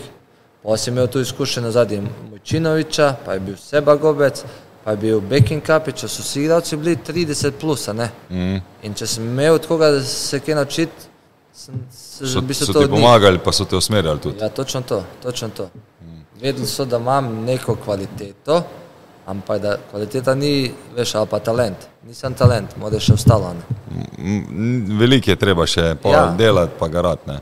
Ampak zdaj rečemo, kaj se je tebi zdelo od teh dodatnih stvari, ko si delal. Je to bil kondicijska, je bilo to prehrana, je bilo to kaj drugega, ne? tretjega. Ja. A, Kaj se ti zdi, da, da, je, da, je, da ti je pomagalo, da si šel res na nivo više še? Kaj mi je pomagalo? Jaz mislim, to, ta leta dela, ko sem delal s Srkijom, da mi je dosti pomagalo, ker eh, recimo, ko boš daj sedel s Srkijom, ampak je na kavici ga vpraš, jaz sem skozi z njim delal ena na ena, ko on je imel tudi skupinske vadbe, ali pa dva, tri, štiri igralce. Jaz sem jim skozi rekel, ne, hočem, da smo ti pa jaz ena na ena. Ti me gaziš, jaz pa delam, ne. Mm. Da ni ono, veš, da se laš lepam. In jaz sem pet let skozi sam. Ampak ka- ena. Kako je bilo pa obdobje, ko sta vidva delala? Takrat, ko si prihajal domov ali kaj? Prijem domov, vedno ko prijem domov. Ja. Ja. Pol celo eno obdobje smo, ko sem bil na kitajskem, mi je pa pošiljal treninge. Mhm. Tam je pa konstantno, vsak, vsak dan mi je pošiljal treninge. A si imel koga, da te je tam gazil? Kaj? Kje, na Na kitajskem? kitajskem? Ne, Ali si sam delal? Sem že sam delal. Si že bil to veš, v ja, glavi tudi ja. odgovoren. Omenil si vmes tudi, da rečemo, da si, ko smo se predodajali menila, zaradi tega te za to prehrano tudi sprašujem, ne, da si Ja. vmes spremenil prehrano. To je res. Ja. Da si šel na, v Zagreb, da si dal kri, da si naredil pač preglede in da so ti, ne vem kdo zdaj, ne, to mi nisi niti prej povedal, ne, da, da se ti je pripravil jedilnik na osnovi tega, kar bi ti nej, se pravi na krvno sliko, na kaj si ale, alergičen, kaj zdaj, da ti pokažem telefon, da vidiš, koliko teh obrokov sem slikal, po moje ene tisoč slik. Ja, imel sem bivšega soigralca, igral je z mano v celju in on je iz Hrvaške, iz Zagreba. In on je dosti hiter nehal z nogometom in se je posvetil temu. Prvo kot fitness trener, pol pa ta nutricionist, pa vse to. In Kdo on, to? Dragutin Golub. Okay. En, pri 2-9, 2-10 igral pri če rečem. Okay. Neki mali je bil 3-4 meseca v celju. In glavnem, tu smo nek kon- kontakt imela, smo se malo čula in pola me je začel, veš, kao, dej, malo bi ti bilo to resno, si na top nivoju, pa to, veš, takrat sem v Rusiji, da boš, veš, podaljšal kariero, da boš, in on je imel te metode dihanja, pa vse to, veš, sam jaz sem njemu rekel pošteno, te metode dihanja, to, dej, malo stran, Ja. Vsem poštovanjem, verjamem v to, ampak pač Ja. ne to. da Ni- zdaj- nisi to ti. Ja, nisem to jaz, zdaj sem eno uro sedel pa dihal neki v to. Diham je že 33 let. In je rekel, ok, pol, ko sem prišel v celje na pauzo, sem naredil to, kri sem dal in prinesel smo, tako pa že, no, analizo, uh, Ja, krvne sliko. krvno sliko. Ja. Prinesel in on mi je pogledal in na podlagi tega mi je sestavil jedilnik. In potem sem šel na priprave in on mi je, on mi je lepo vse to sestavil, ne, ne 30-40 strani, res vse top jedilnik, samo meni se to ni dal brati, tega je bilo preveč. Jaz ti najbolj iskreno govorim. Ja, se razumem, se, jaz se pa najbolj iskreno smejem, ampak In jaz prijem v jedilnico, kot ta smo imeli v Rusiji, veš, Ja. ja. imaš uh, zajtrk, kosilo in večer, vse imaš na bazi, veš ti. ja. In jaz zdaj lepo pridem, kličem ga na video. Zdaj, v. Visli še nista delala z njim. Ne, ne, ne, ne v Rusiji. Zdaj, v, v, v Rusiji si ugotovil, da moraš. Je še to, kao. Ja. Ja, okay. Ugotovil, hotel sem nekaj ješkal. ja. In jaz zdaj ja, kličem na video, ko sem rekel, le, majstore, zdaj pa gremo čez. In zdaj vse snemam, kam imamo, veš ti. In on kao, a ok, to lahko, to lahko, to ne, to ne, to ja, to ne. In jaz zdaj to vse ok, se zapomnim. In on je rekel, zdaj bomo pa vsakič. Vsak, z- dobro, za zajtrk sem večino vedel, kaj lahko nisem. Je rekel, Ja. kosilo pa večerjo, mi boš pa skozi sliko pošiljal. In zdaj če jaz to na film, vse lepo, to lepo zgleda, slika, pop, on pogleda, kaj si to dal, jaz rečem to, to, to, to. Ok, jej.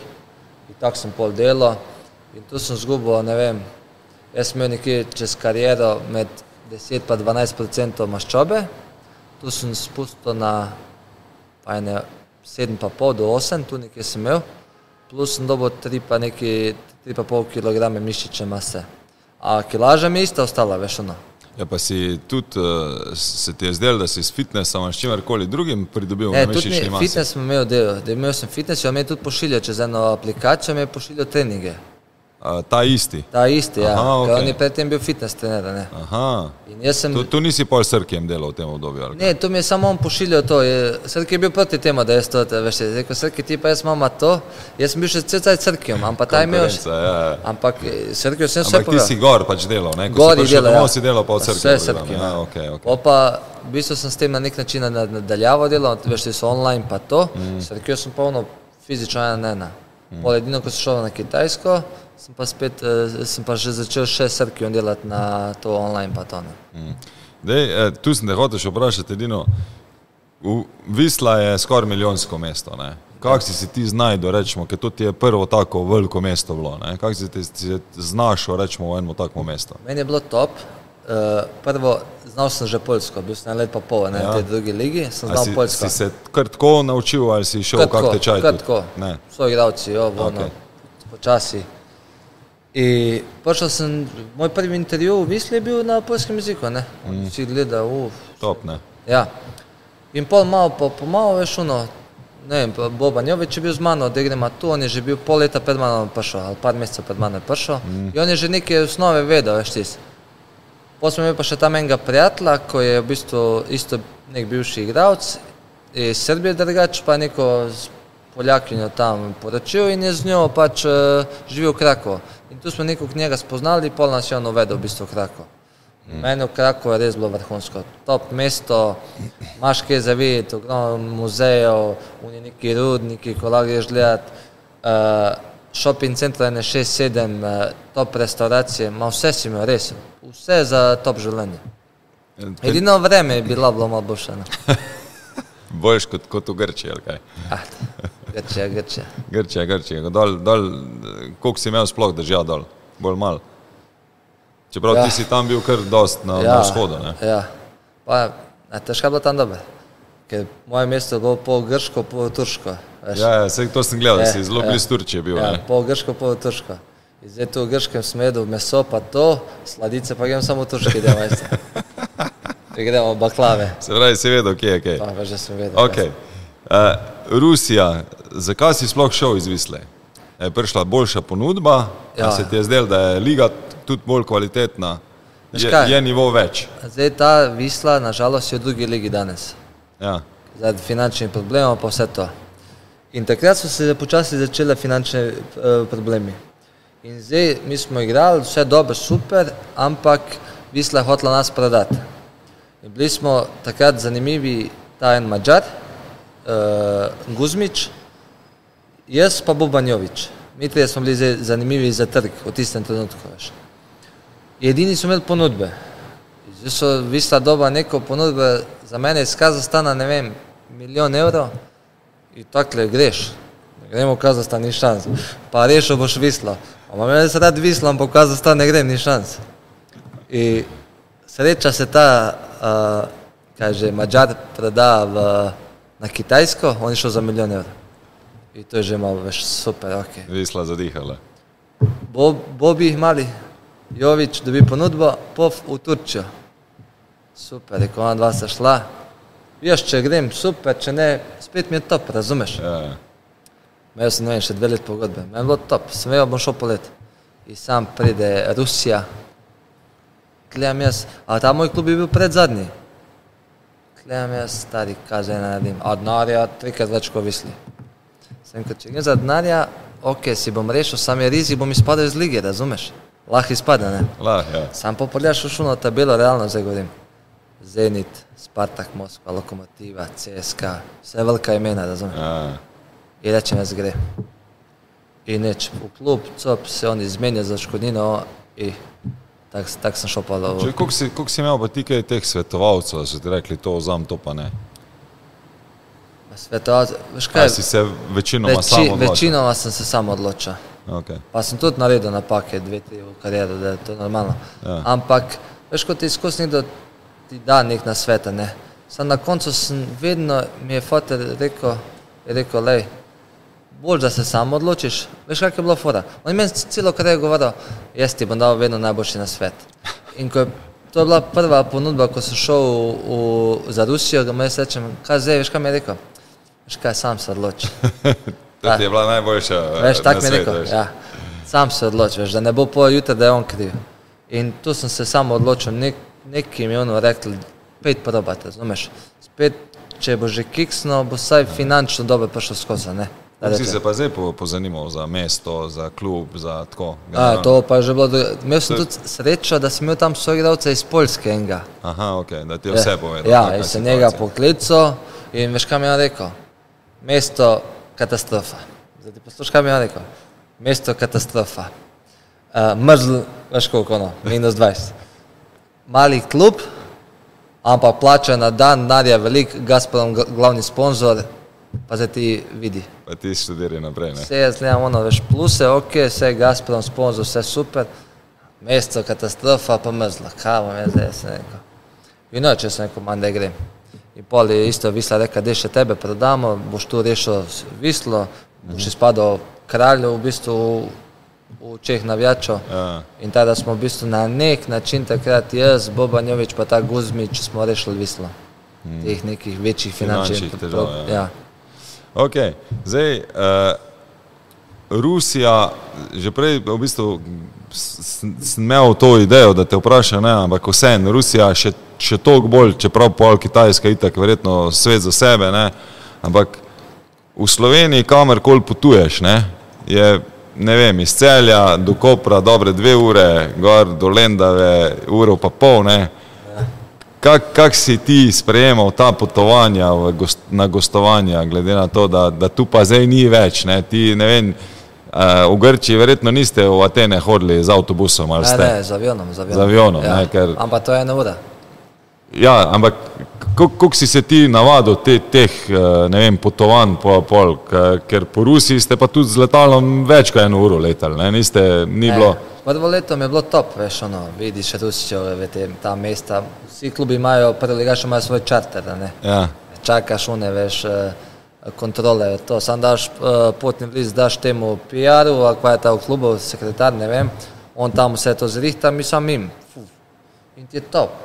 Sam pol, drugo, tretje, pa to naprej, let, tokle. Veš, ko ti reče, ne vem, pokal, ko imaš, Ja. ja, moliš Boga, da ne dobiš tam nek Vladivostok, ko je pri Japonski, a pa ta Habarovsk, ko je 9 ur leta. To, če dobiš, veš, da je pol ekipe poškodovano, vse boli loža, hrbet, definitivno. Jaz sem imel pa, prišel sem in pol leta sem bil tam, izpademo po podaljš, ne, v tretmo kaže, dodatnih kvalifikacijah, po penalih izpademo I, iz lige. v drugo. Ja. Ja. In jaz zdaj hočem iti. Ker klub ima neke ponudbe, jaz hočem iti. Ne, mi reče športni direktor, ne, neumen si, zapomni si, prišli bomo takoj nazaj, a vzel boš trikrat več denarja na premije, veš, ker da ti, ki hoče iti v prvo ligo, dajo ogromne premije. Ja. In to mi je bila najboljša poteza, ko sem ostal, razumeš, denarja in prvi smo bili. Ampak veš, kaki leti. Vladivostok 9 ur, Habarovsk 9 ur, Baltika 5 ur, Tom Tomsk 5 ur, Jenesej 6 ur. Ma ne vem, to so bili leti, veš kaki, majster, tri dni ti ni domov. Ampak kako pol to zgleda, rečemo, da ti igraš slučajno dvakrat uh, v gostovanju, tako ste rekel, imaš sredo pokal, pa za vikend, da imaš še gostovanje. Ja. Kaj pa se sploh niste vračali nazaj Ja, Orebor? veš, da se vračaš. Mi smo imeli srečo, ta moj klub, ko ima veliko denarja, veš, Ja. Gospodom je hotel, da Sam kaj to zdaj pomeni, si letel pet ur tja, odigral tekmo, ja. Pa itak ste šli verjetno en dan prej. ne? Ja, vedno je še en dan prej. Se pravi, po tekmi, kam direkt na letalo, se Takoj na preletiš letalo, ja. nazaj, Ja. si dva dni doma in spet na letalo in da letiš ne vem, 9 ur nekam. Zato pa tam obstajajo te, kaj že, ruske infuzije, veš. Nikoli nisi tren. A ja, je veliko pomoči pa tega. Ne bi o tem ali kaj. A ne, se ne, jaz ne vem, kaj je to. Jaz ne verjamem, da je to doping, ker smo mi imeli doping kontrole. Ne? Ja, ja. Sam pa, da so te neki vitamini, to, da se hitro vrneš. Da se je. hitreje regeneriraš. Ja, do- ja. definitivno. ja pa prav kot infuzija ali ste kot tablete dobivali. Ne, kot infuzija. Ja, prav direkt žila. Direkt. Po tekmi. Po tekmi, zdaj pa nekdo tam rekel, je tega, kaj govori. Tako je bilo, pa bilo so tu, imel si tablete, ampak si imel vse poštima, razumeš? Ja, ja. Vse, ni bilo. In, evo, noben ni padel na dopingu nikoli. Nikoli. Ja. Kasneje sem bil v Rusiji, v moji ekipi, pa v celi ligi, noben ni Ja, ne, se cela liga je zelo podobna, kot sem se jaz pogovarjal tudi z ostalimi, ko igrajo v Rusiji. Ne? Pa, pa je normalno, ko ti igraš pa Evropo, tudi če je tam drugačen doping, ja. kontrola, zdaj karikiram. Ne? Da, jaz sem imel dvakrat doping gor, pa, pa sem, ne vem, mogoče dva dni vzel te, fuzijo. te je kaj bilo strah. Ne, me je bilo, ja. Sam, ne, iskreno pa je Ja, bilo, ja, ja. ker jaz ne vem, kam mi oni dajo. On mi da tam deset tablet, pi. Ja. Ti spiješ ono vse, do danes se zbudiš, ti si svež majster, da je nič, hvala Bogu, nič. Vse je ok. Vse je bilo super. Imajo več te fore, res imajo, ampak maksimalno imajo, uh, ker tam karkoli si dobo, si mora dati doktora. Karkoli, vse verjetno tudi tukaj ne. Pa tam karkoli si naročil, vem ti, ne vem, mleko iz Evrope, na pamet, možda doktor da pregleda. ne. A ja, je to, to Ja, strogo. Je, ali kaj? strogo, res. Ja, kaj pa pol rečemo, a ja, v bistvu vse za prehrano si pa tako rekel, ne? ti si vse, kar je bilo v restauraciji, si posliko in itak je doktor pripravil tisto hrano, ko ste vi jedli, ali kaj. Ne, ne, še, mi smo imeli, da- mi smo, ne, mi smo jedli takle, ko si doma, je Ja. ja. svoja hrana. Ja, ja. Ampak v klubu si imel vse po, Pod, pod, pod nadzorom. Ja, vse, vse, vse. Kak je pa klub kot ta Koreborg, spet infrastruktura pa to. Mesto je veliko za Slovenijo, 600-700 ljudi. Ja. Tiko, zdaj ti bom povedal zgodbo, ko sem jaz podpisal. Jaz sem podpisal v Turčiji. Jaz se zadnji dan, uh, oni so bili še na pripravah, veš, Rusi ti grejo trikrat po 14 Ja, dni ja, na te ja, priprave. ne. Ja, to je Jaz bojan prelet- razlagal. Ja. Ja, jaz preletim v, v Belek, tu sem jih zvečer zmenil, vse jaz podpišem, super. Ampak, ker so mi delali vizo, so rekli, ostaneš ti še tri dni v Beleku, ekipa pa jutri leti domov. Vse oni plačajo, ni problema. Ja. In enega pustijo s tabo, zdaj ne vem pač en iz kluba. In jaz zdaj letim za Orenburg, ampak sem na nek avion prišel, da sem pa letel ob 6 zjutraj. Pridem na letališče, mrzlene, minus 25 je bilo. Minus 25. Uh, letališče so neki preurejali, ali so novega dela, neki, ne vem kaj je bilo. Tada je bilo, kako da bi ti rekel, pa neka stara hiša, kaj, na odprtem in tam je bil- bila ta tekoča traka in tam si dobil tekoč trak in tam je bilo tudi koč, ki so prihajali. Je kaj, Zunaj zdaj- čakaš. To pomeni, da je uh, Brnik je top ali kaj v Ja, primerjavi s tem. zdaj je tam zrihtan, Ja. ja. zdaj je top, ja, ampak tak- takrat. Jaz čakam koče, jaz mislim, da gremo zdaj tam. Vidim tam neki dela, ampak preurejali so. Tu me predpela, zunaj folk stoji, mrzlo, no, ni kočko. Jaz se zdaj, koč je ta, vidno oni iz kluba, si veš, ono Odenburg oblečeni, me čaka, šofer, vse in gremo zdaj mi v mesto. Tema. A od letališča do mesta ti je ne 20 km, recimo, ne? Mm. Niti ena luč ni delala na avtocesti, tema, sam goz viš. Star jaz, vse v moker, živčen. Prijem v mesto, v hotel, zjutraj se spomnim, se zbudim, kličem tega menedžerja, sem ka, rečem ka, sem rekel, pel me nazaj v Vislo, ne rabim ni evro, nič ne rabim. Naj sam vrne Vislo nazaj denar, ne bom jaz tukaj igral. Pravi on meni, ma ne, umir se, umir se. Rekel, ne, grem, ne bom jaz tukaj igral, kaj s tabo, letališče, ovo ono. In ne, umir se, umir se. Evo, ostal sem dve leti pa pol in mi je bilo top. Je bilo to v redu. pol. Tudi mesto ni bilo tako slabo, kot ko, ko je. Okolica, okolica, veš, ono, pač folk nima denarja, to Revno, ja. revno vse. Ampak v centru mesta, tam, ko sem jaz živel, še sem imel duplo stanovanje samem centru mesta, imaš teh šest, sedem restauracij, rečeš, top. Mm. In sam tu se vrtiš, ena, dva shopping centra si imel in tu se vrtiš, kaj boš. Mm. Veš, ono, ko je zima, ko te prije minus 20, tako ne greš ven iz stanovanja. Greš. Kje ste pa trenirali, pol po zim? Ne, Orenburg je imel stadion, glavni, z umetno travo. Ja. Mi smo na- na umetno Vem, travo. ampak ko si rekel minus 20, kaj ste, ste na minus Ne, 20 saj, tudi več? To, te, to mogoče imaš ene od 5 do 7 dni, tam imaš tako pauzo, veš, ti zakončaš 5. decembra, Ja. ja. ko si na pripravah pauzo, imaš, Ja, ja, ja. imaš priprave do, ne vem, 25. februarja, razumeš? Če rečem, ja, si ti imel tudi take brutalne ruske priprave, ko vsi Ja, pravijo. ja, pa je 14 dni samo 100 krat 100 metrov. Ej, Jaka Biol, Bojan Ja, Jokič, vsi, ko smo je vsi, vsi pravijo, da, da to ni normalno, da, To da laufaš koliko gor. kolik se to teče, rekel, da cel golf igrišče je prelaka, eh, Biol prelaufal. ne. A to, sam ti govori, davaj, davaj. A, kaj davaj, ti bi po bruhu tamo se, da se ne boš. To zjutraj, popodne pa reče, ajde gremo za žogo, a tebi noge take, ne moreš stati. A fitnesa pa tu zdaj ni bilo, ali kaj? Bilo je malo, sanečke velik. Ta trener je, to, to, ta trener, ko je vzel v CSKA Moskvi, on je velik na atmosfero, veš. Zdaj on je imel dobre treninge, ampak je vedno imel neko šalo, veš, da nas malo sprosti, veš. Samo jaz jim rečem, vse je to super, ampak kao što ti meni sprosti, če mi rečeš, ajde, danes imaš sam 50 krat 100 metra. Veš kaj 50? A tok ste imeli, ali kaj? Ja, dati kao, ne vem, Pa, pa štoparca, pa gleda. Stopaca je 20 sekund, od tam, tam, ne imaš pauzo, mislim, tiste 20 sekund. Najhujše, ko ti on reče, a, evo, še 24 imamo, a ti hočeš umreti, majster. Šta je to? Če reč mi, zdaj skozi to tvojo kariero, ne, v, v tem cajtu do Rusije se že veliko nove tehnologije ti noter prišlo. Ne. Ja. Zdaj, ko, ko so, če gledamo nazaj 15 let, ne, ko si ti bil mladinc, ne, danes imajo mladinci že instata, ne, pa kadeti, prva liga. Uh, tega daleč ni bilo ničesar. Kako si sprejemal, rečemo, vse to zdaj, od uh, videoanalitikov do GPS-ov, do tega, uh, ko smo pripravljali, da smo se pogovarjali, si skupaj s Sičem tudi uh, delal Ja, ja. indi- individualno, ampak sta delala predvsem tehniko. Ne? Ja, a Takrat ti še z videoanalitiko nič ni svetoval, kaj? ne, veš kaj je, jaz sem prvi začel to, mislim, da je bilo, ne v Grči, na Poljskem, mislim, da v Visli sem bil. Začel ti instat, pa to veš, pa ti pošilja po vsaki tekmi. Meni je bilo to na začetku zanimivo, veš, ono. Ja. Gledaš, aha, ne vem, odigral tok, duelo, tok, to, veš, une neke cene, ko so koliko tam 200, Ja. ja. 300, to. Je bilo top. To mi je pa tako, kako da bi ti rekel, ono si se že navadil, veš, točno si vedel, da boš dobo to, veš, ti sam gli tu da pregledam malo, da se vidim, kje sem z ostalimi igralci in to je to. Nisem jaz imel za neki to, da me je full navdušil, pa to. Mm. Edino, kar me je recimo v Rusiji navdušil, tukaj zdaj nosimo te GPS-e, pa to, veš, ti si. Mm. V Rusiji nič ne nosiš, a takoj po tekmi dobiš vse, koliko si je pa laufal, ono, ker zgleda, imajo to na Ja, stadionu. imajo na kamerih. Ja. Ja.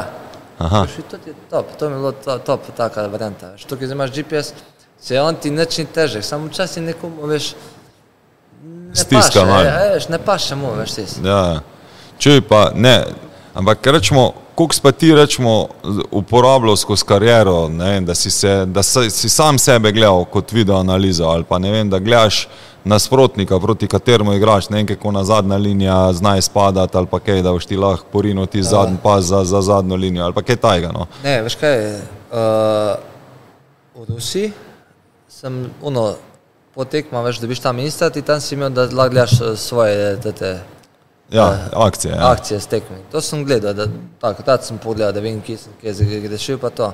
Ampak tam je bilo pa recimo dober, da, da smo imeli tega enega v klubu, ko nam je to vse rihto, analitik, karkoli je že bil. In on je zdaj recimo igramo, ne vem, zdaj proti CSK, tam je ne vem, Jaka Biol, pa ti veš, da, zdaj ko smo ga omenili. Ja. In mi da uh, slabe točke Jakata, tega drugega veznega, kot je Jaka, je še veznega. Mm. In nam da video in vsak mu posebej pošle, te posebej pošle, njemu posebej, vsak dobi za, za svoje, veš, tiz, ne vem, desni winger dobil levega beka, pa to veš. Tada smo, to smo imeli, ne, in pol, vedno si, ampak to je bilo dan pred tekmo, dobiš na bazi, ko imaš čas, ima vsak svojo sobo, lepo, top TV in tam si pol gledal, veš. Si koristil to ali ne? Uh, nisem to koristil, zato ker sem, uh, ko sem recimo bil v Rusiji ali pa na Poljskem, sem vse tekme gledal. Rad sem gledal to našo okej. ligo, razumem. Tada sem v bistvu vse igralce poznal. Si vse igralce Ja. poznal, pa si, si že sam malo tudi Je, veš, eh, veš naredil vidiš v glavi, veš. Ono. Ja. Ti je ta GPS ali pa kaj od tega bil, bil kdaj breme, ne vem, da ti je prišel trener, da ti je rekel, ne vem, nisi pretekel, nisi odšprintal, nisi odskočil, ne vem, karkoli. Uh, ne, breme mi ni bilo, ampak eh, me je pa motilo, veš ti. Ker on je, ne vem, zdaj nekateri trenerji. Ja. Veš, kot reče, high intensity, moraš imeti, ne vem, Jurija pa pol. Ja. Sam ne more imeti, jaz nisem mogel razumeti, da ne more imeti špica Jurija pa pol isto ali pa štoper Jurija. Pa veš, ko ni razumel uh, poante Ja, niste, tega. ni bilo razdeljeno po E, igranih mestih. Ja. Tega nisem, veš, Koliko pa ti delal, rečemo, tako poprečjo, ta polska, ruska liga? ne vem, ne spomnim se, vzel v Sloveniji delam Jurija 300. Jurija 300 Ja, delaš. pa tek, Jurija 200, Jurija 300. Koliko jih je v klubu, ko dela tok? Ja, vse imam tudi, da sem ne, ne bi zdaj kazal lih, ampak jih nas je ene 4-5. Vas je ene 4-5, ja. Ker to je zelo, zelo, to je precej nad, po moje, slovenskim povprečjem lige. Ne vem, kako je Po poprečje moje, Slovenije, okrog, ampak okrog, eh, okrog Jurija, da je, no. vem, da imam, imel sem zadnjih 3-4 tekme vse čez Jurija 200. Ker je ravno to, ko smo prej govorili, ne, zato mi je zanimivo, ne, da ti zdaj, če, če, ne, vem, če smo se z Romanom pogovarjali, da, da on ni znal ho, uh, počasi teči ali je šprintal ali je pa hodil pa stal, ne. Se še dan danes ne zna. Ti si rečemo ponavadi vedno tako velik na, na tej usrednjem tempu bil pa šmekal, ne, nisi imel toliko velik tega high Ja. intensity, kar mi je pa zdaj, ko te gledam, ne, mi je pa pač navdušujoče mi je, ko te gledam, kako hitro reagiraš, kako tečeš, kako si na, na neki poziciji in pol tudi lahko druge razporejaš, zaradi tega, ker si tudi tak tip, ne, da, da, Ja, ja, ja. da veliko govoriš. Ne. Zato me zanima, ne, koliko ti je zdaj razlika v tem. Ne, ka, uh, Jurija 300 v povprečju, po moje, te bojo še nazaj enkrat ven po- po- poklicali v tujino. Bi še šel enkrat. Bi, ja, sam nek Dubaj, a pa Abu Dhabi, tam bi še šel. Kaj, da ni treba tok teč, pa da sam našmekal. Ka. Ne, malo bi tudi reče uživo življenje. A, ok. Veš, mislim, da sem imel lepo kariero, je bilo vse super, ampak uh, veš kaj, Rusija mi je res, res, res imam rad Rusijo in mi je bilo ful lepo tam. Ok, zdaj to, kar se dogaja, to je višja sila, to ni, to, je- to ni To, šport. to, to ni šport, pa ni, ni Rusija, po mojem. No, tudi ja. ni v Ja. naši moči. Mogoče bi se vrnil še v Rusijo, ker mi je tam res bilo lepo. Ja. Razumeš? Je tudi nog- nogomet dober. Meni je njihov. bilo dobro. Še takrat, ko sem jaz bil, bilo svetovno prvenstvo, veš, to obdobje. To. Mm. Leto prej, svetovno, leto potem, razumeš, vse, vse novi stadioni, vse baze so predvideli, dobri tereni. Meni je tam bilo res vrhunsko. Mm. Veš, meni, meni je tam bilo dobro, tudi do, kvaliteta je dobra, dobre klube imaš, eh, novi stadioni, velika mesta, imaš kaj za videti. Ni, ni, ni, ni, ni, Rusija sploh ni napačna. Jaz bi vsakmu priporočal, če bi kdor bo imel v bodoče Priložnost. priložnost, da, da gre probat. Ja. Kljub vsem tem potovanjem pa ostalim težavam. Vse se navadiš, vse se navadiš. Zdaj jaz, meni, jaz sem imel tako obdobje, jaz sem v Rusiji veliko potoval, plus na kitajskem, razumeš. Mm. E, dokler pridem do Kitajske, dva dni raven, razumeš. Mm. Frankfurt, pa 12 ur Šangaj, pa pol čakaš 5 ur, na, na, na pamet govorim, pa greš pol v to moje mesto Čindao, še dve uri, cel dan zgubim, razumeš. Ne, pač meni je sam fascinantno, ne, kak, ne, n- k- kako po moje je zelo naporno.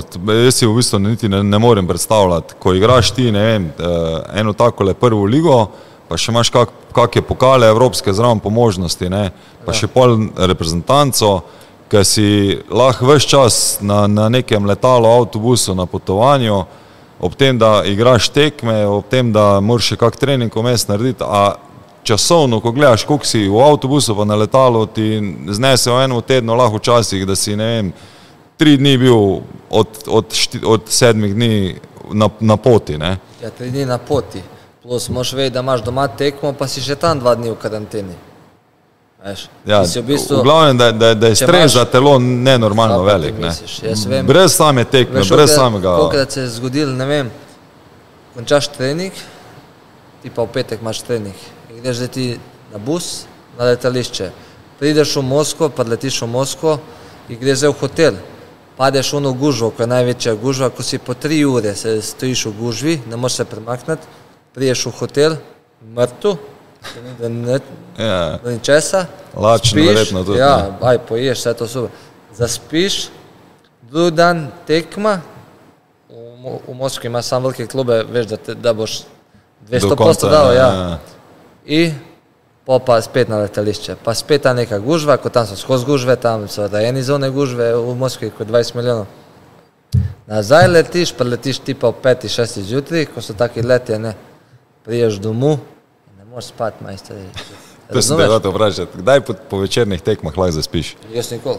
Jaz dan danes v celju, ko sem jaz uh, Tu če je večerna ob 8, kdaj zaspiš? Ob 5 zjutraj, 4, 5. Si tok poln adrenalina še vedno? Nisem polno delal. Jaz, veš, uh, Ali pravijo- vrtiš tekmo? Ne, jaz vedno zdaj gledam tekmo. Ja. Ja. Vrtim nazaj tekmo, pogledam celo tekmo, to je pač manj to rada, ne, da Ja. pogledam. Ampak kaj te reče pet? Jaz vidim, da sem utrujen. Jaz vidim, da se meni spi, ampak ne morem zaspati. Ne morem zaspati. Se nisi edini, do zdaj smo, do, do, so, do, ja, vsi, ima, vsi imate iste probleme, poti da pa trener nasled, naslednji ti dan ob devetih ti da pa regeneracijo ali pa ob desetih Ja. moraš biti na klubu, ne? Veš, kot ti ne reče adrenalin, ni zelo adrenalin, za sem v polni energije. Ja. Jaz sem res utrujen, jaz ne vem. Naročim si pico, in jem pico, pijem Coca-Cola, pa gledam tekmo, primeti dama, ne. Ampak jaz vidim, da sem utrujen, se ne morem zaspati. Ja. More. Če, kak je pa, kak je pa tvoja, rečemo, en normalen dnevni ritem na dan tekme? Na dan tekme. Ali pa kdaj se ti za tekmo začneš pripravljati? Se že en dan prej začneš pripravljati v glavi? Pa ne, zdaj ne, mislim, vse se ti pripraviš. eh, Kot, Dobro, zdaj si že izkušen, Ja. ne, ne, ampak, Ampak recimo, ne ampak vem, verjetno zdaj- neko rutino pa imaš vse. Ne? ja, recimo, zdaj ti bom povedal, če tekma recimo ob 8 zvečer. Ja. Tu se zbudim nekje ob pol desetih desetih, takoj zajtrkujem, pa gre dobra kava, pa se malo se spočijem, ne vem česa, ampak se spočijem, imam Da, kosilo. da se prebavi vse ja. skupaj. Pa imam kosilo, Ja. ne vem, pol dveh, dveh, na pameti govorim. In pa grem obvezno spati eno uro. Je kaj posebnega za kosilo ali za zajtrk? Ne, Ali, ali že en dan prej? polni? Standard, da imaš žone testenine, tudi veliko Ja. hidratov, malo mesa in to je to nečkaj ne Imaš filozofira. rada je skupno kosilo ali imaš svoje, da si sam? Uh, ne, ne, meni vse. Je Sam da to- imam, jaz, da imam to, da imam Ja, ja, okay. svoje. Pol grem spat obvezno, pa imam poln snack po, po, pred tekmo, mislim pred tekmo, tipa če tekmo boss, imamo petih nek snack mm. in to, to mi je obvezno, so mi palačinke. Tri Obvezno. ure, tri ure pred. Tri ure ja. pred tekmo, to mi je obvezno palačinke. Mi pa vseeno, ali noter nutella, ali pa marmelada, ali pa ne vem, orehi, morajo biti palačinke. Okay. Pač ne vem, tukaj mi pa še to. Koliko prej prihajaš na stadion rad? Uh, pa odvisno, zdaj tu imamo celi uro 45, Uh, trener, da, ja. da morate biti. Imate še prej kaj sestanek? Imamo sestanek, ja. to je ne 15 minut, sam zdaj pa, veš, kak je odvisno, kam imam. Zdaj, če, ne vem, če imam kakšne neke probleme, ne vem, ložo, bandaža, pa te fora, pa hočem iti v fitness, za ta dan, veš, ti pol, eh, pol kako se reče, prijem prej. Čakaj, zdaj eh, hočeš reči, da kdaj greš še na te dan tekme tudi v fitness prej, ali kaj? Se zaktiviraš? Zjutraj imam aktivacijo vedno. A, to, to- povedati. Pred, Ja, to-. Aktivacijo imam z Jankovičem, A, ok. kondicijsko, ja. Koliko vas pa je, imate to cel klub ali si to ti? jaz imam z njim ena na ena, zdaj pa ne vem, kdo še ostali. Jaz imam Ja, z njim, ok. ko V so- to si se navadil Ja, v sam, tujini. sam to mi je aktivacija, ko so tekme od 5 do 8. V tem mm. Če mi je tekmo ob 3, pol mi nima smisla ta aktivacija. No, okay, okay. Ja, ja, razumem. Ja. Ja, ja, pa, kar je od 5 pa naprej, imam z njim Če zjutraj imaš pa aktivacijo. treh, rečemo, narediš en dan prej, pa ta fitness aktivacija. Ja, ne. ne, ni, Ni to, nujno. ni to fitness aktivacija, to je bolj ta neka stabilizacija, malo uh, skippingi, poskoki, malo eksplozivna moč, to je to. Veš, Aha, ni on okej. klasičen fitness, da bi neki z težmi delal. Ne. Okay. Ja, ampak to mi traja vse skupaj 15-15 Ja, ja, minut, se, nič več. to ni zdaj trening. Ja, to je, ni trening, to je- aktivacija. Ja. Ja. Da, da, sem, Da se malo simpatiko zbudi. Pa. To, to, to zelenom se Preživče. vedno zmenima in ono, ali grem jaz njemu domov, ali se odbijam pa kar na stadionu. Aha, okej. To prijem pa vam pa zajtrk, pa to, kar sem ti rekel naprej. Okay. Uh, kaj pa pol, ko priješ v garderobo? Ko- Si rad sam, imaš rad slušalke, muziko, si rad v kontaktu. bilo- Prej v tujini sem imel rad uh, slušalke, svoja muzika in to je to. Ne, Zdaj, Nisi, komuni, nisi veliko komuniciral. ne, ne, se jaz tu pa ta neka forica, ovo, ono, a pa če sem časi DJ, dam veš muziko vrtim pa to. Ampak, uh, kjerkoli sem bil, sem imel uh, dobro komunikacijo z soigralci, vsi so me imeli radi, ker sem tako pozitiven, veš, na fore pa to. Zdaj, odkar sem pa doma, domov se vrnil, pa nič muzike. Imamo tako svojo, mislim, da ne, v bistvu sploh nimamo muzike. Pač trener ima to rad, da nimamo muzike. Aha, mora biti tišina. Ne, ni tišina, se pa pogovarjamo, veš, ti. Aha, okej. Ker je pač domači jezik, ne se pogovarjamo med sabo in nam je pač. eh, Ne poslušam muzike, enostavno se pogovarjam s svojimi igralci, pa to, igramo malo basket, imamo basket koš v, slačilnici. V garderobi. Ja, ampak on tam malo. no. Ja, ja. In tu igramo malo, pa se Ja, zadruženi, ja. malo tudi kaže ping-pong, ne. In tako, Ja. veš, čist, čist da malo odmisliš uh, uno, začetni del od tekme, pa pa ono, kot, ne vem, kot pride on te pomočnik, pa reče, čez deset minut gremo na, na, na teren, je pa pa, veš, pa pa se začne ono. Po domače povedo, da se palimo, ajde gremo zmagati pa to. Pa se kaj, ne vem, valčkaš, delaš kakšne uh, meditacijo pred tekmo ali Ne, kaj ne, ne, takega? ne. Uh, vedno se zmasiram, to je obvezno. Ja. Segrejem se. In... Ko greš uh, maserju, fizioterapeutu. Ja, fizio, ja, fizio ja. to se vedno zma- segrejem, zmasiram.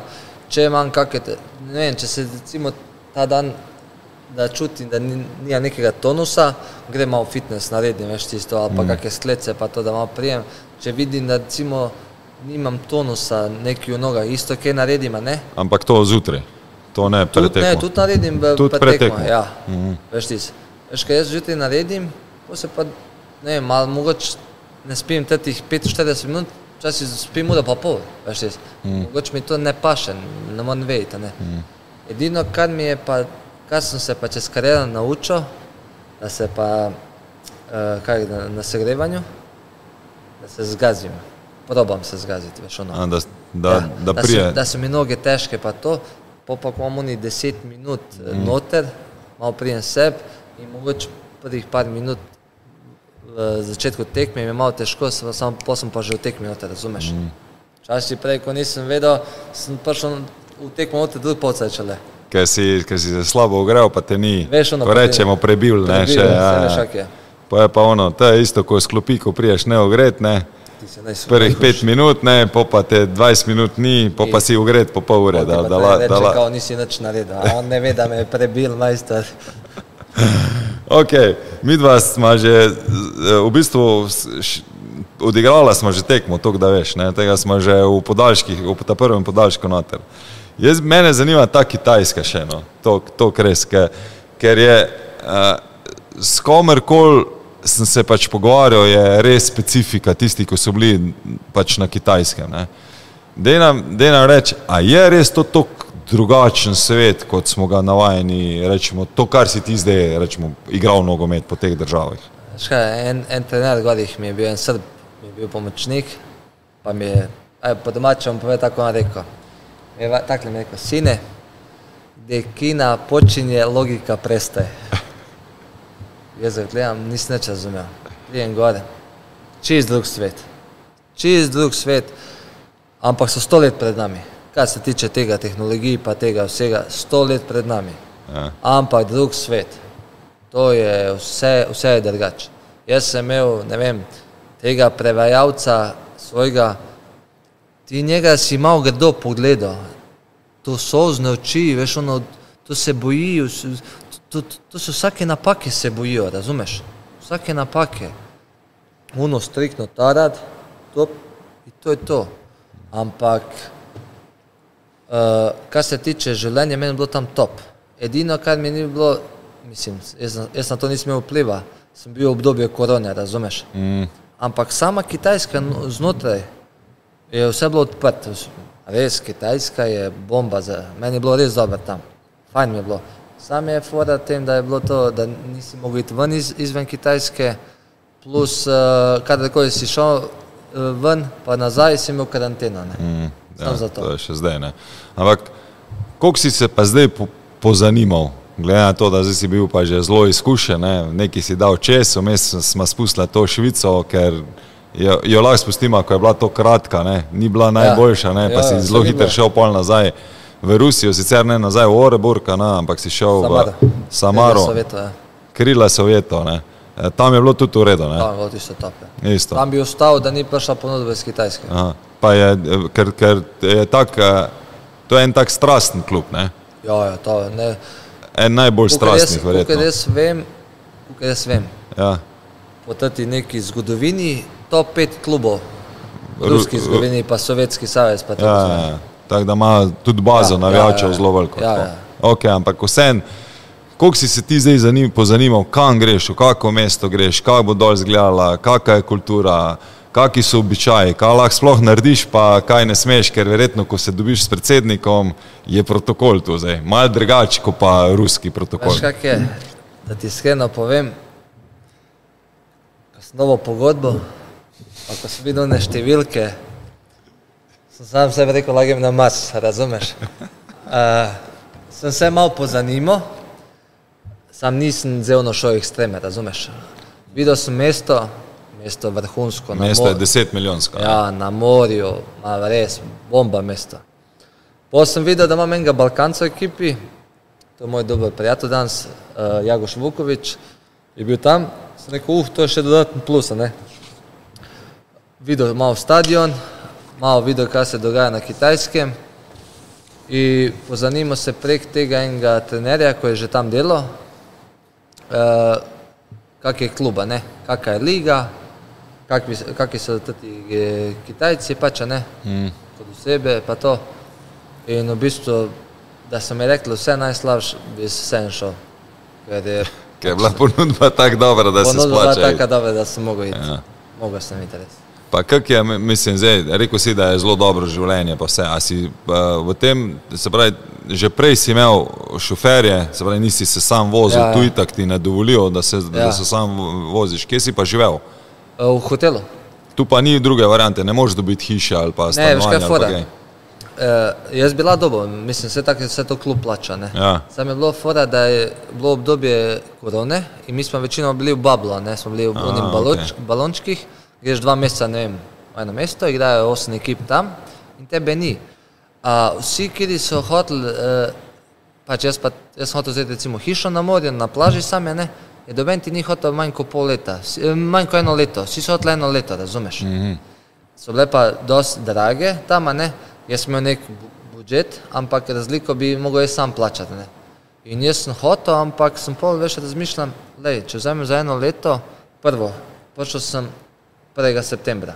Imam september, oktober, november, sem imel prvenstvo, je bilo konc, 15. novembra. Pa me pa ne bo januarja, februarja me ne bo, plus dva meseca še priprav. Kar pomeni, da jaz v bistvu ne bom A priprave ste bili skozi? Ja, na, na v poti? Šangaju, skozi v Šangaju. In kar pomeni, da jaz v tretjih, ne vem, od 12 mesecev bi bil mogoče 6 mesecev v hiši. Razumeš? Da te ne splača. Ne splača. A mi smo tam, ono, imaš vrhunske hotele, vse to, pa ne. In veš, ono, klub ti da pač ono, apa- apartma, neko večjo sobo, ono, veš ti vse. In sad imaš zri- zrihtano, zlikano, vse, ono, vse neko, kaj rabim. Top mi je bilo. Pa smo bili vsi tam tujci, mi štiri, ko smo bili, soigralci smo vsi tam živeli, imaš tam hrano, vse imaš. Top. kaki so pa centri. Trening, trening centri pa to? Dobri, dobri, res so dobri. Je na nivoju, Ja. oni kopirajo to, te evropske centre ali imajo kaj svojega? veš, kako on naredi ti center? On ni tak center, da ko mi, veš, da imaš ti. eh, Mi smo recimo bili v enem centru, ko je nogometni center, ampak je osem hotelov. In zdaj vsaka ekipa koristi svoj hotel, ne? Ima dol jedilnico, s A to, to govoriš takrat, ko je bil Ja, korona, tudi ne? ostale v klubi, ti ima pa tudi, ne vem, fitness, pa te fore, recimo vse to, kar Ja. ja. imaš na, na bazi, ima tri, štiri terene, uh, te pa imajo pa še zraven, ne vem, uh, tipa za basket, za tenis, pa take fore, ne. Aha. Ampak uno basket pa tenis pa to, to ono, klasa četrta, trije tereni so recimo top, pol pa še dva terena sta tipa ono. Njiva. Ne, na, pri meni na ulici je boljše.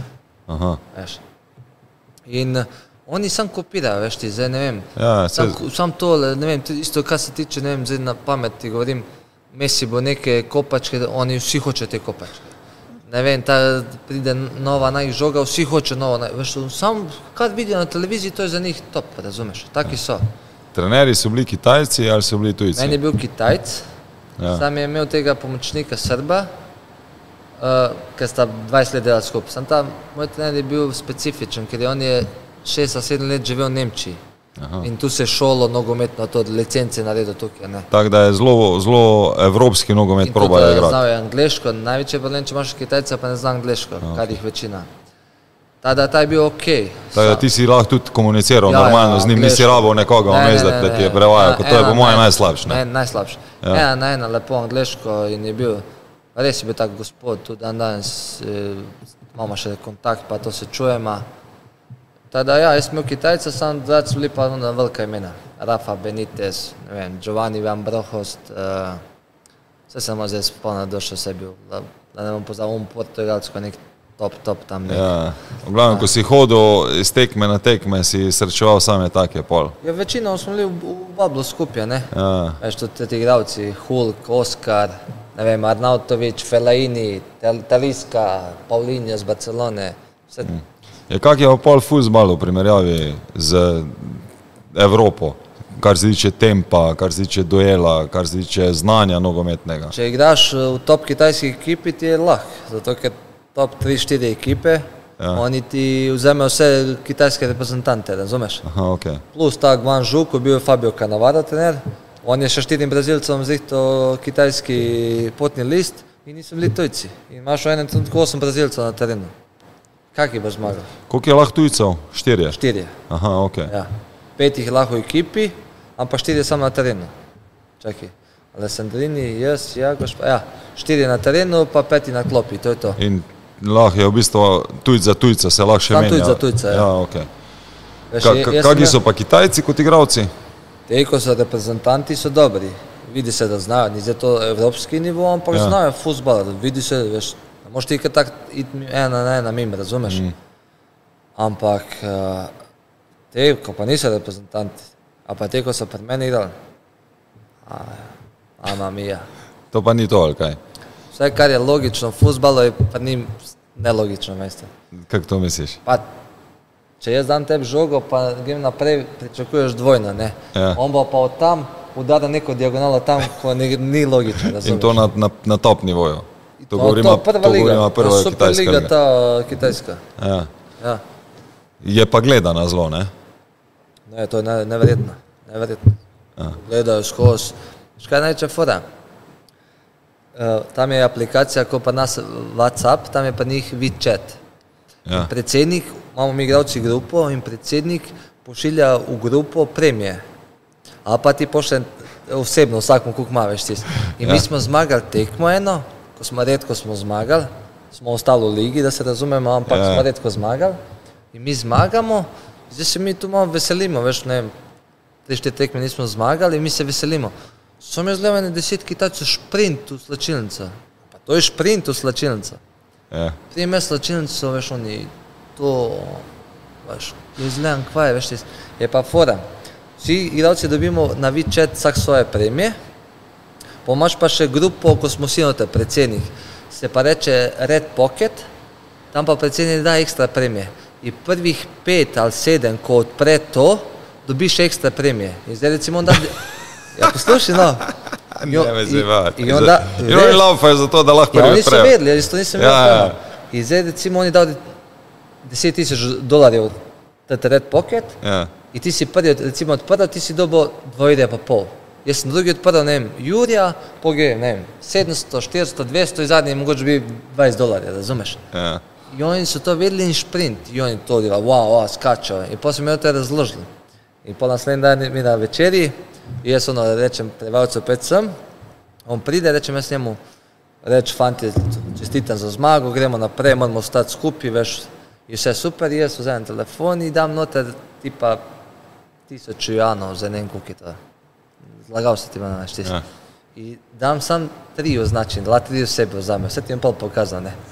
Jaz to pošljem in veš ono gledam jih, ker sem na veš tako gledam in majster, ko je prvi video, wow, wow, začel ta dela, taka kar po glavi darja. Zakaj mi nisi povedal, veš, to je frka nastala, veš ti, jaz gledam, kaj je z vami, veš ono, pravi on kapetan pred mene reče, dober je, sam veš kaj, tako že ima veliko plačo, ta je dober denar, mogu si da temu, veš, pa pa še temu pošljem, veš ti. Njim malo daš, veš, ti bo vse dala, razumeš, moraš jim znati priti pod kožo, ne. Sam, če, pa, če greš pa proti njih, pa lasi mesi, ne greš skozi.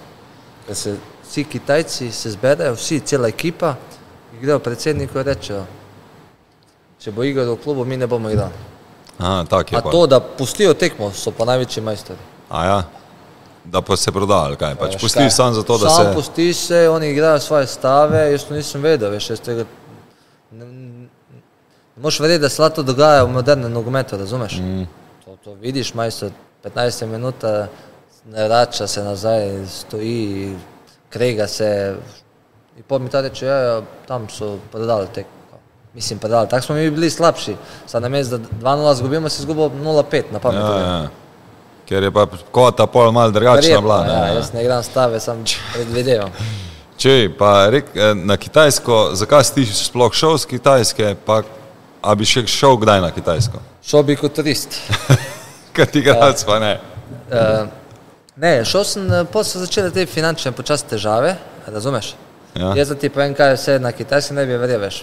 Ta moj predsednik, on se je igral futbol menedžerja, ampak v živo. On je na pol, na pol cajta, po vem, 30 minut kliče na klop pomočnika in reče, ta igralec ni dober, meni ga. On gleda tekmo doma na televiziji in on kliče, reče, ta mi ni všeč in on si enkrat menja in ta mora menjati, če ne ga uterate. Ja. Ja. Enkrat se je on spomnil, ne vem s kom smo igrali, jaz sem igral tu nek desetko ali pa zadnjega veznega sem igral več. In on se enkrat spomnil, da ta desni vinger ne igra dober in on je javi temu reče, Popovič mora igrati desnega vingera. Jaz na proti klopi me on pokliče kao desnega vingera. Jaz ne vem, zakaj imamo vingerja. Ne on menja vingera, jaz na desnega vingera. Jaz to tekmo še dobro odigram, veš ono. Ja, se pač trudiš, ja, veš, profi. čisto.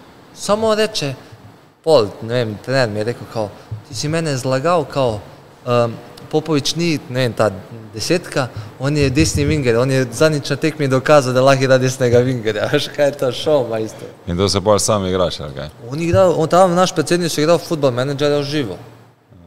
V drugih klubih ni, verjetno tako, ne vem.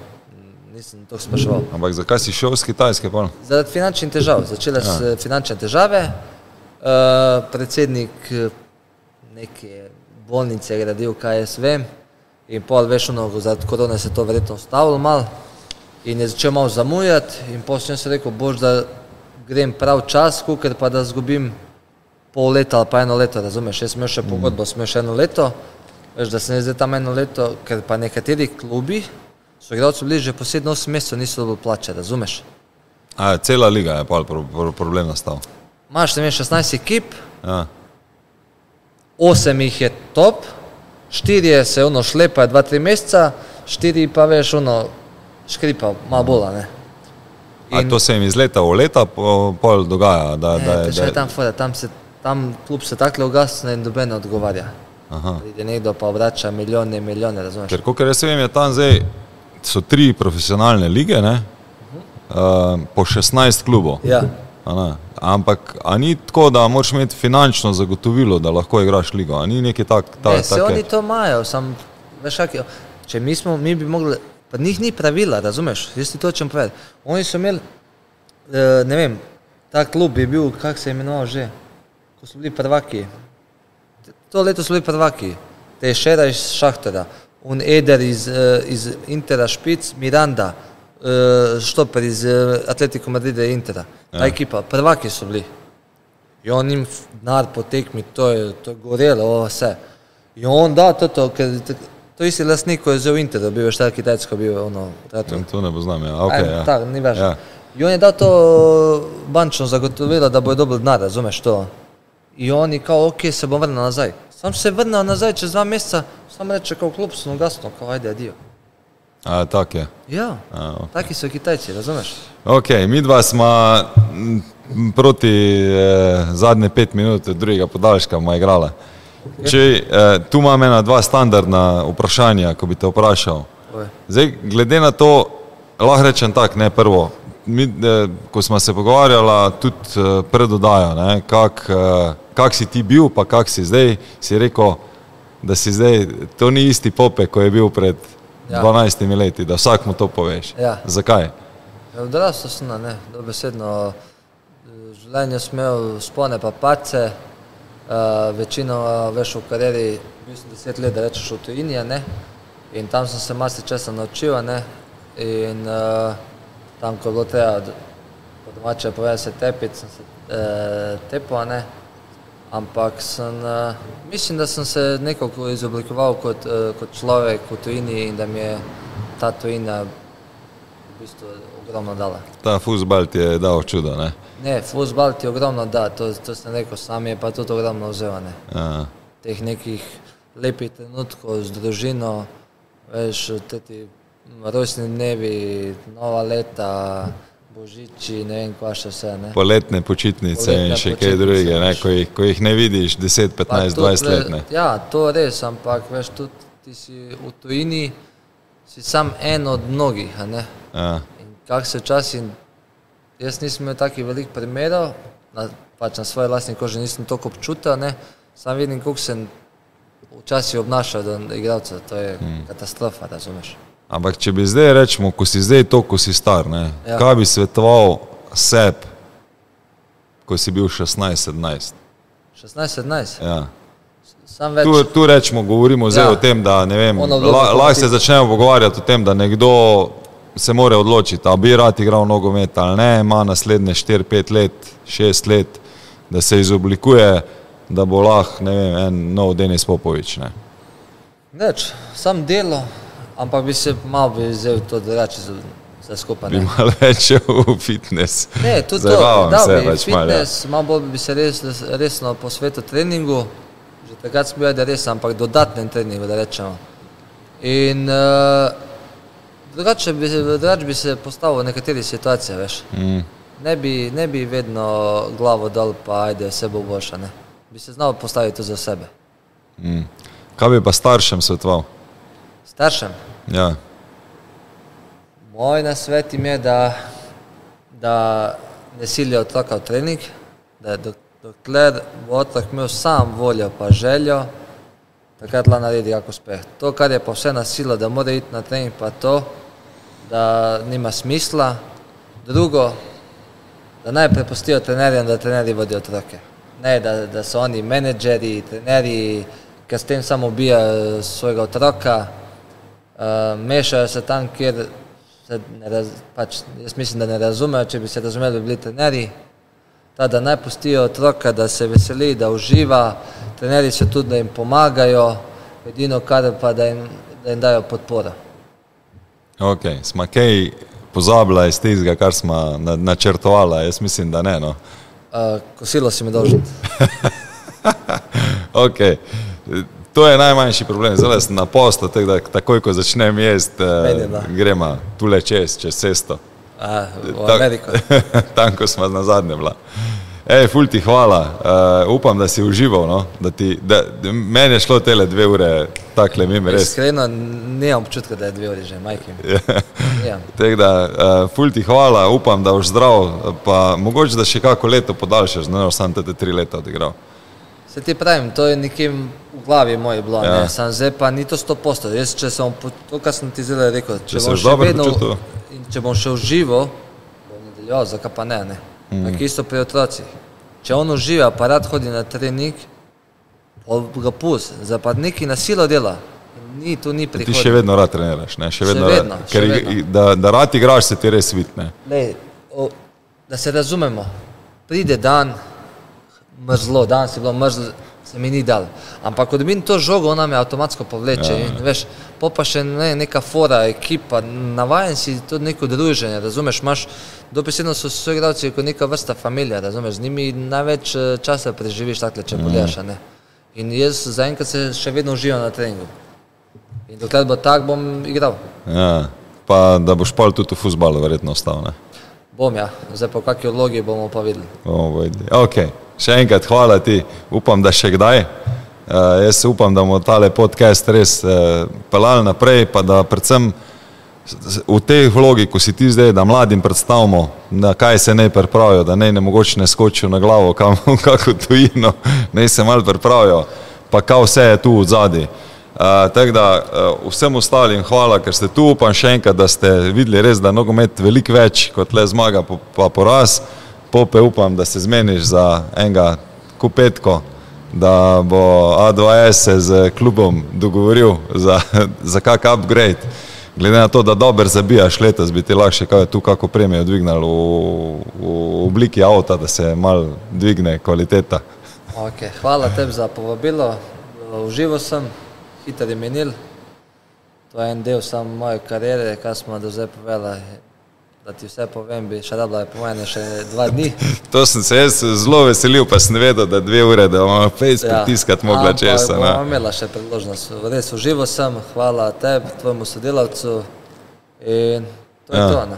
Kdaj drugič, kako ono bolj specifiko od Arma, tak. Lahko ni, Okej. okay. problem, jaz sem za vse odprt. Hvala lepa, mi pa se vidimo kmalo. Lepo zdrav.